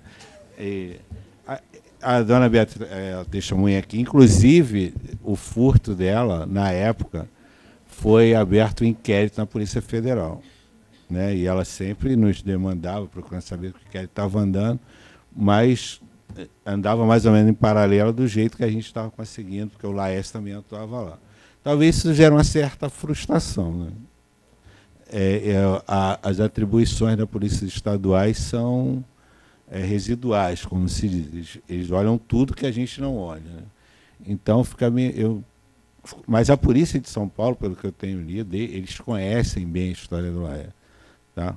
Mas como é que eles estão atuando, o tempo deles para atuar na, na, na recuperação desses bens, eu não sei. Mas pode ter certeza, quando cai aqui na área da Polícia Federal, a gente faz o, o melhor possível, porque também nós não temos também tanta. Aí, como a senhora dizia, eu falei assim, o mercado está calmo, porque quando eu falo calmo na área que a, a, Polícia Federal atua. Quando a Mônica me demanda, ou demanda muita gente, a gente diz, pô, o mercado está aquecido. Em São Paulo a gente não tem essa, essa é, não desperta na Polícia Federal que está acontecendo essas coisas em São Paulo. Né? A, a Mário de Andrade, São Paulo, né, também a gente recuperou várias coisas. Na época a gente achava o lote. Né? Quando achava as coisas da FBN, tinha um bocado de coisa da Mário de Andrade, tinha da dela, tinha de vários lugares. Então ficava fácil a gente né, ir lá, ir lá na USP, né, pô, recuperamos. Mas não é que a gente estivesse investigando a USP, a gente achou junto naquele momento que a gente estava buscando alguma coisa tutelada pela União. Tá? Eu vou passar a palavra agora para. Só, só, um comentário. E às vezes pode causar confusão, é o seguinte. É, vamos dizer, se eu estou com uma operação crimes federais e ele, por, por acaso, estou com uma operação em cima do Laércio ou qualquer quem que seja, e ele comete crimes estaduais também, aí sim puxa para a gente. Se eu tiver numa operação, tiver investigando tudo dentro de um conjunto, isso é, isso é possível. Mas se pegar um furto isolado, a gente não vai entrar, entendeu? Só para que às vezes pode, a senhora pode até pensar assim, ah, pô, mas de repente a polícia vai estar naquele, naquele caso atuou, e por que nesse caso agora não está atuando, entendeu? María Antonieta, da Biblioteca Nacional do Chile. Muy buenas tardes, gracias por invitarme y perdonen que no hable portugués. Un inconveniente que parece ser con respecto al hurto de libros es que Interpol pide una fotografía. Y que es lógico, porque los libros no son siempre únicos, tienen copias en otros lugares. Bueno, lo que está, contarles un poco lo que está empezando a realizar la Biblioteca Nacional, porque los museos nacionales del servicio, del actual Servicio Nacional del Patrimonio, tienen un registro que se llama SUR, donde se describe cada uno de los objetos del museo y están fotografiados. Entonces siempre, cuando yo hablo del tema del hurto de los libros, me dicen, ¿y la foto? Colóquenlos en SUR. Bueno, le digo, nosotros tenemos otro sistema de registro bibliográfico y lo que sí estamos empezando a hacer es que los libros que son conservados y restaurados tienen su fotografía, claro, con los fines de donde se va eh, registrando el antes, el durante y el después de los tratamientos. Pero ahora realizamos un manual que además de esa fotografía se, se fotografíen todo aquel elemento que pudiera hacer que el libro fuese único. Llámese una mancha, llámese el, el ex libris, las anotaciones al margen, en fin. Ya las personas que trabajan en conservación ya la están identificando, ya lo saben. Tal es así que ahora eh, catalogación se ha contagiado y con los libros importantes que están catalogando, están haciendo fotografías también. Por otro lado, comentar que pareciera ser que cuando hay un hurto de valores, esculturas, en fin, eh, los libros parecieran estar como en último lugar no son muy considerados como que fuera un objeto de gran valor. Un ejemplo, este sábado, recién pasado, gran alegría porque hubo un decomiso en una equivalente a una hacienda de una persona importante, donde encontraron esculturas del cementerio y de distintos museos que estaban siendo buscadas, cajas de plata de un importante museo, Em, elementos arqueológicos y paleontológicos. Hasta ahí todo bien y maravilloso. Y yo mando la pregunta, ¿y vieron si el señor tenía biblioteca? No se sabe. Bueno, eso suele ocurrir. Los libros son difíciles de identificar.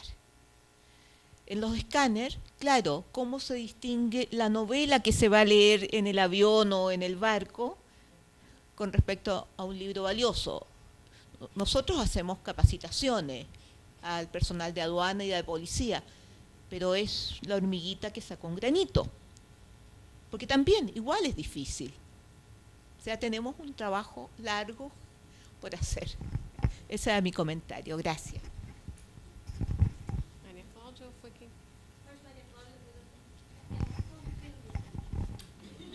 Não vamos nos demorar, nós temos tempo, tá? Porque temos.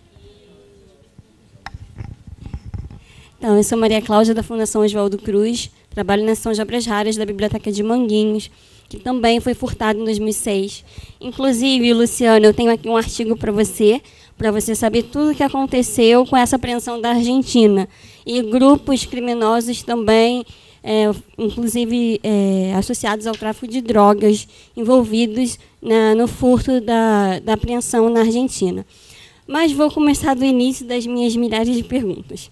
Primeiro, tem uma pergunta relacionada a uma proposta de política nacional de combate ao tráfico ilícito de bens culturais. Eu estava montando a minha apresentação de amanhã aqui para a jornada e me deparei com essa notícia regulatória na página do MINC, de uma proposta de política nacional de combate ao tráfico ilícito de bens culturais. Essa proposta teve em consulta pública durante 15 dias. Então, a minha pergunta é se a Biblioteca Nacional faz parte dessa elaboração dessa política, se vocês estão incluídos. Eu vi aqui que, é, é, inclusive, a Biblioteca, o Arquivo Nacional, outras instituições são citadas aqui como agências de trabalho com patrimônio cultural. E aí, a minha pergunta é relacionada a se vocês se estão incluídos e caso estejam incluídos, se vocês, se vocês têm alguma intenção de fazer uma discussão junto aos pares dessa política nacional de combate ao tráfico ilícito. Ela tem cerca de sete páginas. Eu desconhecia, conheci agora fazendo a apresentação e acho que as propostas dessas, dessa política são bastante interessantes. Ela faz uma leitura sobre o cenário brasileiro de tráfico ilícito e também faz propostas de ações para o combate a esse tipo de tráfico. Então, acho que isso seria uma, uma questão importante a ser discutida junto aos pares, junto às pessoas que trabalham e são conhecedoras desse tipo de assunto. É, e para a polícia, eu queria perguntar o seguinte: como é que vocês procedem depois de uma apreensão de obras das quais vocês não conhecem a origem? Como é que é feita essa busca de, das, da, das instituições ou colecionadores, talvez, detentores desses bens? porque, na verdade, os livros são matéria orgânica e eles têm um tempo de vida útil e, dependendo das situações em qual, onde eles estão expostos, essa vida é, útil desse tipo de material ela é diminuída. Então, eu gostaria de saber se existe um tempo de resposta, como é que é feita essa busca por, por é, acervos de origem, até porque nós mesmos fomos furtados e nunca fomos procurados é, para fazer verificação no depósito. Eu fui de, em, acredito que em 2012 mais ou menos nesse depósito para fazer verificação é, de pronta iniciativa, né? Para ver se realmente havia obras da Fundação Oswaldo Cruz nesse depósito e nós encontramos um título e dois volumes. Então eu queria saber como é que é esse procedimento. Espera aí, tem mais. Em relação ao IFAM, eu queria saber é, se obras que não são tombadas pelo IFAM ou pelos patrimônios estaduais, se elas podem ser incluídas nessa base de dados de obras que estão sendo procuradas. Até porque os livros, normalmente, eles não são tombados pelo IFAM. Na verdade, o que são tombados são bibliotecas de prédios eclesiásticos. Eu olhei numa ata da década de 80, isso é previsto. É, mas o item, o livro em si, normalmente não é tombado, eu pelo menos desconheço. Então eu gostaria de saber se, mesmo não sendo um bem tombado pelo patrimônio é, federal ou estadual, se isso pode ser incluído na base de dados do IFAM para serem buscados. Em relação também à parte de conservação, eu gostaria de perguntar, primeiro dizer que nossas obras foram repatriadas da Argentina nessa apreensão que foi citada aí, as obras, além de outras instituições, obras da Fundação Oswaldo Cruz estavam incluídas nesse lote apreendido, foram repatriadas, demorou acho que uns cinco anos mais ou menos para serem repatriadas. Eu acredito que através de um acordo bilateral entre os países, e elas foram repatriadas, porém chegaram em petição de miséria na Fundação Oswaldo Cruz, visto a, a tudo que aconteceu nesse processo de apreensão e ao tempo em que elas ficaram, guardadas no depósito. Porém, eu queria chamar a atenção que nossas obras só puderam ser repatriadas graças à identificação das nossas marcas de propriedade. O Abel Ferrino, que não está aqui né, hoje, infelizmente, foi o, é, o, policial aduaneiro que fez a apreensão dessas obras e identificou o castelo da Fundação Oswaldo Cruz impressa impresso em selo branco ou carimbo seco nas nossas obras. Então, eu gostaria de perguntar da parte da conservação se vocês indicam que seja aplicado esse, por exemplo, tipo de carimbo é, seco, porque nós temos obras é, tombadas no livro de registro da Fundação Oswaldo Cruz em 1909 e os carimbos estão da mesma forma. Elas aparentemente não causaram nenhum tipo de perda informacional ou material nos nossos livros. Então, gostaria de saber da parte da conservação se o uso desses tipos de carimbo, carimbo seco, selo branco, se é apropriado para marcar obras antigas e raras. Hoje nós não procedemos é, mais com esse carimbo, porque a gente não tem mais a matriz, mas praticamente as obras todas do nosso acervo têm algum tipo de marcação nesse sentido e só conseguimos recuperar graças a elas.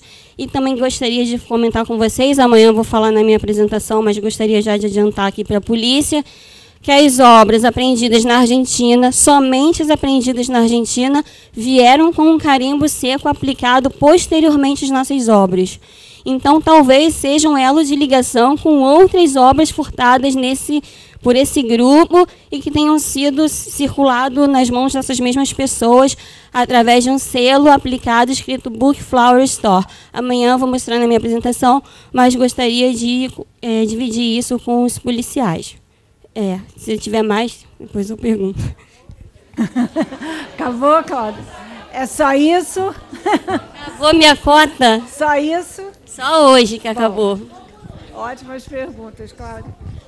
Bom, começa comigo, né? Com relação ao, ao grupo de trabalho de combate ao tráfico ilícito de bens culturais. Bom, a Biblioteca Nacional ela participa desse grupo de trabalho desde 2008. Né? É um, um grupo que era centralizado do Ministério Público lá em Brasília e que, com, é, é, e que reúne várias instituições, Biblioteca Nacional, Arquivo Nacional, Polícia Federal, Receita Federal, é, Ministério Público e FAM, o IBRAM, né? o IBRAM, enfim. E é, é, aconteciam uma série de reuniões, nós participamos, inclusive, de algumas reuniões via Skype, aqui, eu, Carla, o Sátiro, né, do, do, do arquivo. Enfim, até que em setembro do ano passado, eles fizeram uma grande reunião em Brasília, um workshop, é, onde eles tiraram uma série de recomendações, que eu tenho até aqui, mais ou menos anotadas, e, a partir daí, eles contrataram uma, uma pesquisadora, a Nauene, que esteve aqui na Biblioteca Nacional e visitou todas as outras instituições que faziam parte desse grupo, é, fazendo um levantamento é, é, de, de, como, é, é, o que, que a gente sugeria, o que, que a gente, é, é, as nossas propostas e tal. Ela fez essa essa junção dessas respostas. Estava trabalhando na conclusão desse relatório até uns 15 dias atrás, porque ela chegou a entrar em contato pedindo uma, uma apresentação de uma, de uma proposta da. Ai, meu Deus, quem que apresentou essa aqui? Da, da Flávia Moraes, né, que ela fez um. Ela até me pediu a, a proposta da, da Flávia Moraes. E, enfim, eles construíram essa proposta com a participação das instituições, pelo menos no caso da Biblioteca Nacional, a partir dessas entrevistas. Abriram para consulta pública, né? e eu acredito que é, é lógico que nada está pronto ou fechado, E isso ainda vai ser discutido muito entre as instituições, porque esse é um assunto que, que não se esgota. Né? Esse é um assunto que está sempre sendo repensado, sendo atualizado, estão sempre acontecendo experiências é, é, diferentes e novas. E acho que agora todos nós, quando eu falo todos nós, eu falo as instituições que de alguma forma é, se sentiram é, é, ameaçadas ou tiveram seus acervos furtados ou foram ameaçadas por furtos, eu acho que até essa possibilidade que nós temos agora de, de conversar e de trocar, você vê quanta coisa a gente conversa e troca no nosso grupinho de WhatsApp. Né? Quanta coisa a gente a, alerta, e isso é importantíssimo. Isso é, é mais ou menos o que o, o, o Paulo Teles falou, o que o Luciano falou e que o Klaus vive repetindo para a gente no grupo. Né? A interação, essa coisa da gente é, discutir, se colocar, partilhar, tanto momentos difíceis quanto soluções encontradas. Mas, enfim, a biblioteca, só para fechar, a biblioteca vem sim é, participando dessas discussões que foram sendo modificadas, esses interlocutores, esse grupo veio se modificando ao longo dos anos, quer dizer, pelo menos 10 anos de duração esse grupo de trabalho já tem, né? E eu acho que agora, a partir da, da, da contratação de uma pessoa, o grupo contratou uma pessoa para fazer esse levantamento e esse trabalho. Essas são as informações que a gente tem a, com relação ao grupo, porque pelo menos não houve mais nenhum contato é, formal né, com a biblioteca, porque normalmente a gente é contactado, a gente é chamado para reunião, eles repassam para a gente por e-mail. A última notícia que a gente teve foi essa, foi esse contato com a Nauene, fechando esse relatório, que eu ainda não recebi. Quer dizer, eu acho que ela ainda está nessa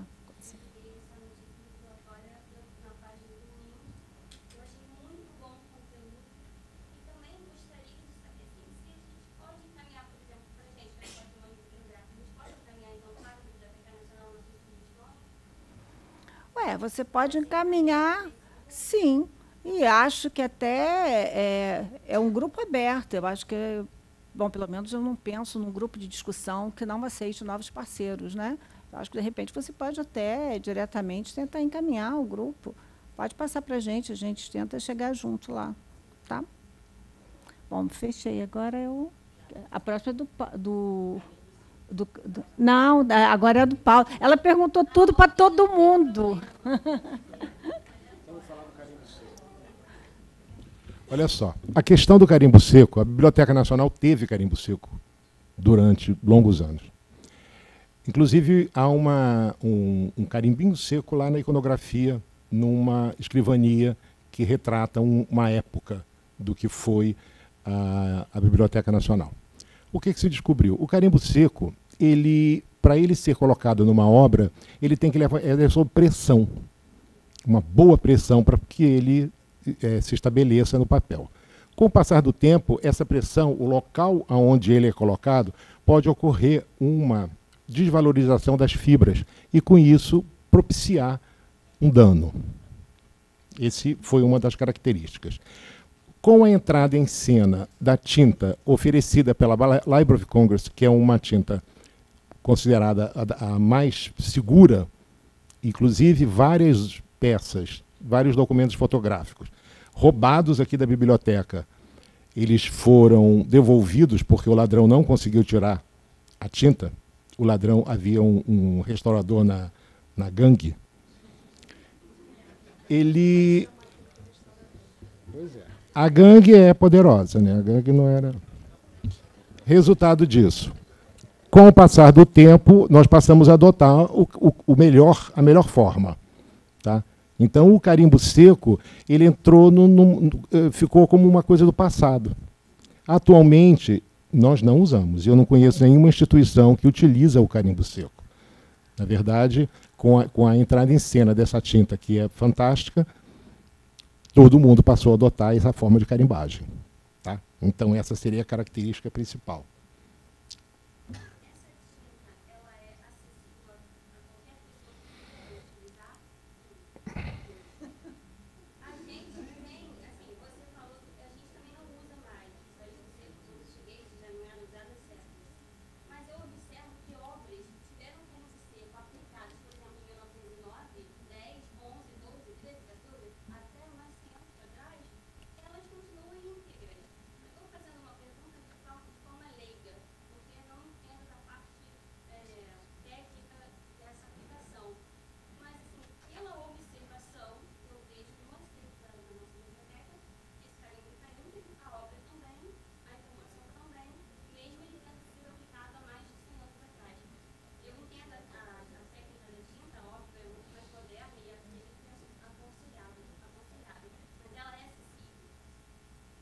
Ela é o quê? Olha, depende do tipo de papel que você vai aplicar. Há, há algumas. Ah, primeira tinta.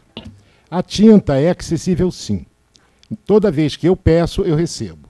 Se você não conseguir que a tinta seja enviada pela, pela Library of Congress, você pode adquirir na Talas, que é uma loja que existe em Nova York, que vende tudo que você possa imaginar a respeito de conservação e restauração. É uma saída. Mas geralmente a Library of Congress oferece a tinta. Ela não vende, ela oferece a tinta. Aqui na Biblioteca Nacional nós já recebemos vários potezinhos de tinta. E elas, como, como a tinta é muito viscosa, ela demora muito tempo a, a acabar. Isso é um fator. O seco, voltando ao carimbo seco, ele saiu de moda, vamos chamar assim. Dependendo do tipo de papel onde ele foi, foi aplicado, por exemplo, um papel de trapo, pode ser que ele resista. Um papel de celulose de madeira, talvez ele não resista, ele perfure. Então, há uma série de observações sobre o uso desse carimbo. De acordo com essa série de observações e com a possibilidade de algum dano, ele entrou em desuso. Literalmente, ele entrou em desuso. Tá? Então, hoje em dia, é talvez nenhuma instituição, nem a própria Library of Congress, use carimbo seco, por essa questão de, da preservação, exatamente.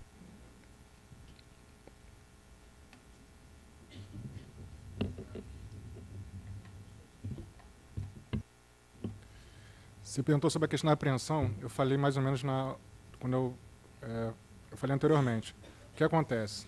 A gente aprende as obras e a gente depende de vocês, qualquer instituição. Então, é, a Biblioteca Nacional, por coincidência, ano passado, duas funcionárias ficaram lá, na delegacia, em razão de uma apreensão que a gente fez, e elas ficaram fazendo inventário.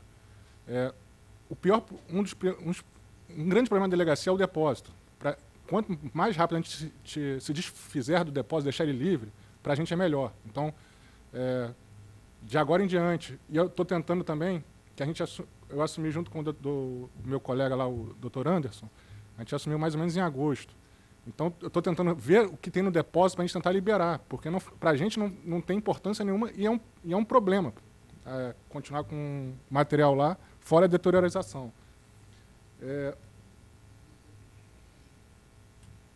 você, ah, você falou que era da, da Fiocruz, né? Inclusive, depois eu quero falar contigo, porque quero trocar mais informações. Eu estava até... Não, é por coincidência, mas. E. Isso, isso é uma, uma questão interessante, você falou do carimbo. O como, como o carimbo também é importante para a gente. É, numa uma das investigações que a gente tem, a grande questão é, eles removem o carimbo. Então, dependendo da posição onde vocês colocam, é o que determina a recuperação da obra ou não. É o trabalho de vocês. Assim, porque o nosso chega lá e a gente não sabe de quem que é. E Basicamente, acho que era isso.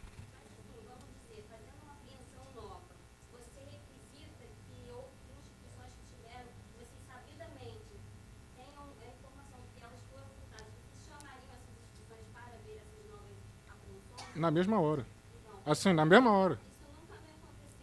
Então, justamente, o caso que nunca aconteceu está comigo. Então a gente vai conversar.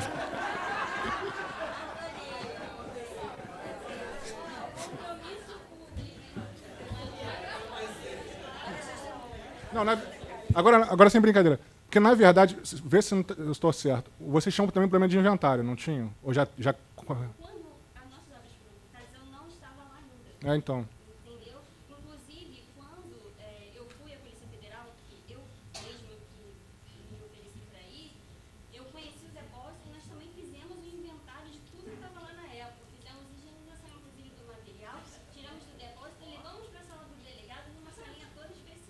Foi que ano isso? Isso em 2012, 13. Tá. Não, só para saber assim, mas. Então, é...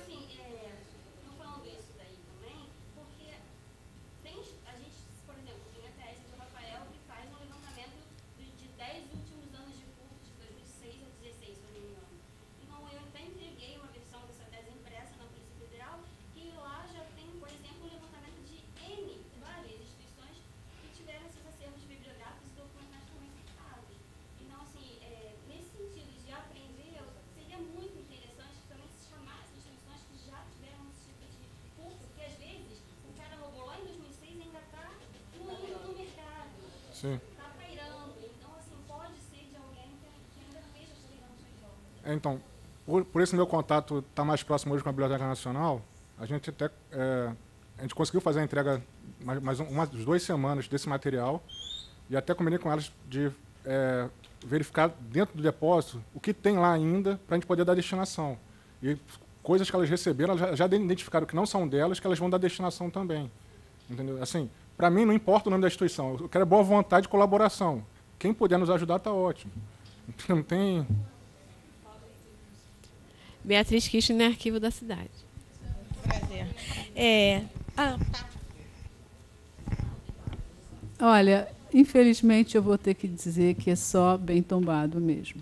Mas isso não quer dizer que a gente esteja que, que acabou aí, entendeu o assunto. A gente nesse esse evento aqui pode tirar essa essa uma, uma decisão, um pedido, um, uma solicitação de que tenha nessa. Porque essa, essa lista, se eu, eu estou certa, ela, ela, ela é, tem um, um, conteúdo junto com a Interpol. Então, por isso que ela também nunca está atualizada. Também tem, tem, que ter alguém, né? tem que ter um ser humano para atualizar isso. Né? E hoje nem sempre é possível. Então, mas eu eu me, como, me, me comprometo a, a ver isso para você, tá? De, eu acho que é importante, sim, não importa que se é estadual, federal, mas eu acho que tem que, tem que fazer valer a, a, o acervo documental, bibliográfico, arquivístico, museológico, mas museológico não tridimensional, né?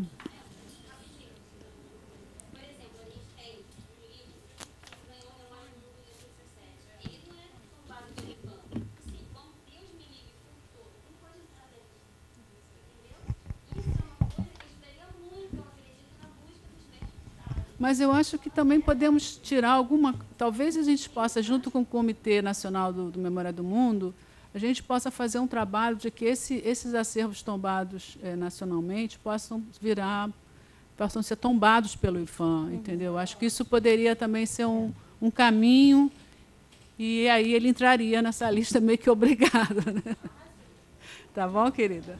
Boa tarde a todos. Aproveitar que estou com o microfone para agradecer o todos vocês na mesa. Muito obrigado pela exposição de vocês, todos. Vocês foram maravilhosos. Muito obrigado mesmo. É, eu estava aqui dando saltos de alegria. Agradecer também a, a, a, colocação de todos aqui. Bom, eu pedi a palavra é, para dar duas, duas, é, fazer duas observações tem muito a ver com o que Beatriz comentou.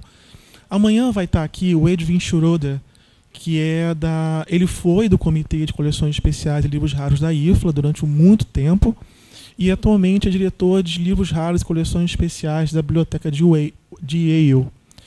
E ele tem participado, talvez ele possa contribuir um pouco também com essa discussão é, sobre uma, uma forma de controle.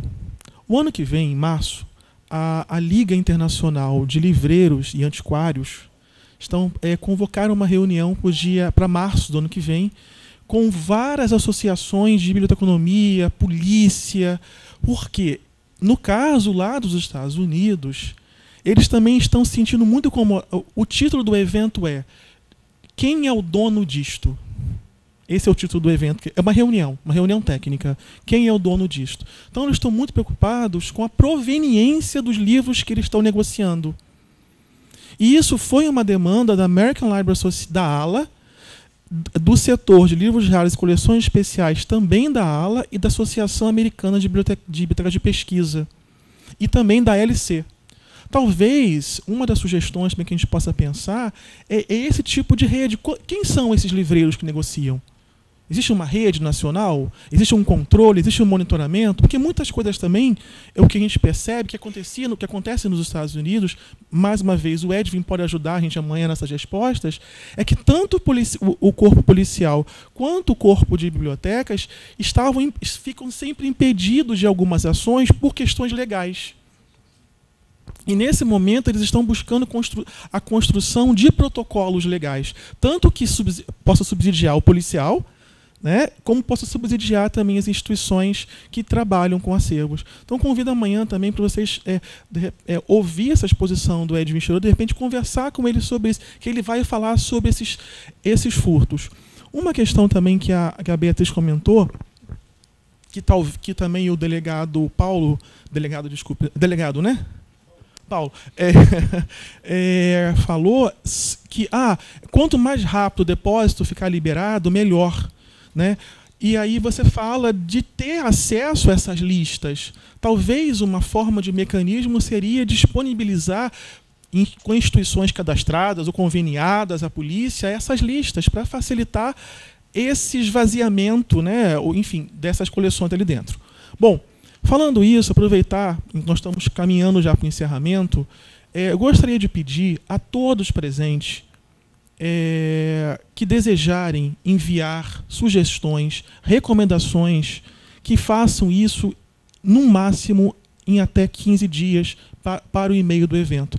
Que eu vou ajudar a Rosângela a consolidar isso. Nós vamos circular apenas para as pessoas que contribuíram, como, como, nós fazemos em departamento, né? vou mandar ata para quem esteve na reunião.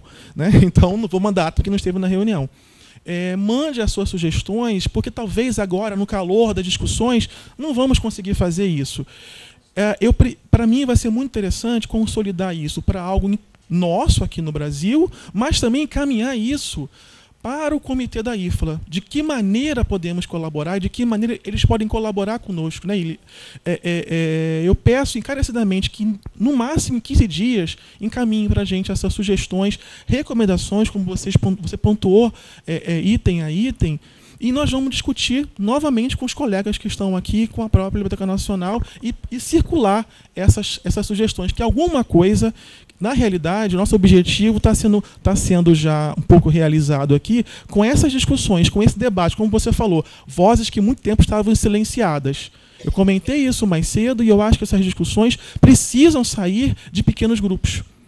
Nós precisamos falar mais abertamente, como nós estamos fazendo aqui, dessa maneira. Falar mais abertamente. Né? É, é, é, então, eu acho que um dos resultados já é esse, essa possibilidade de falarmos sobre isso. E agora, claro, claro tornar o concreto, que é fazer uma moção, um documento de recomendações a partir desse evento, que é isso que nós gostaríamos. Não ficar apenas é, no diálogo, na, na teoria. Gostaríamos mesmo, de fazer uma moção. E essa moção ficará eu não posso falar pela BN, mas eu posso, eu posso recomendar que fique no site do Comitê de Coleções Especiais de Livros Raros da IFLA. Essas recomendações. E da biblioteca também, claro. Obrigado, Zezé. Do, da Unesco também, de Podemos Exprimir Memória do Mundo, ficar essa moção, que é uma forma, pelo menos inicial, de concretizarmos o que nós estamos pedindo aqui, dar força. Né? É isso. Obrigado. Obrigada, Fabiana.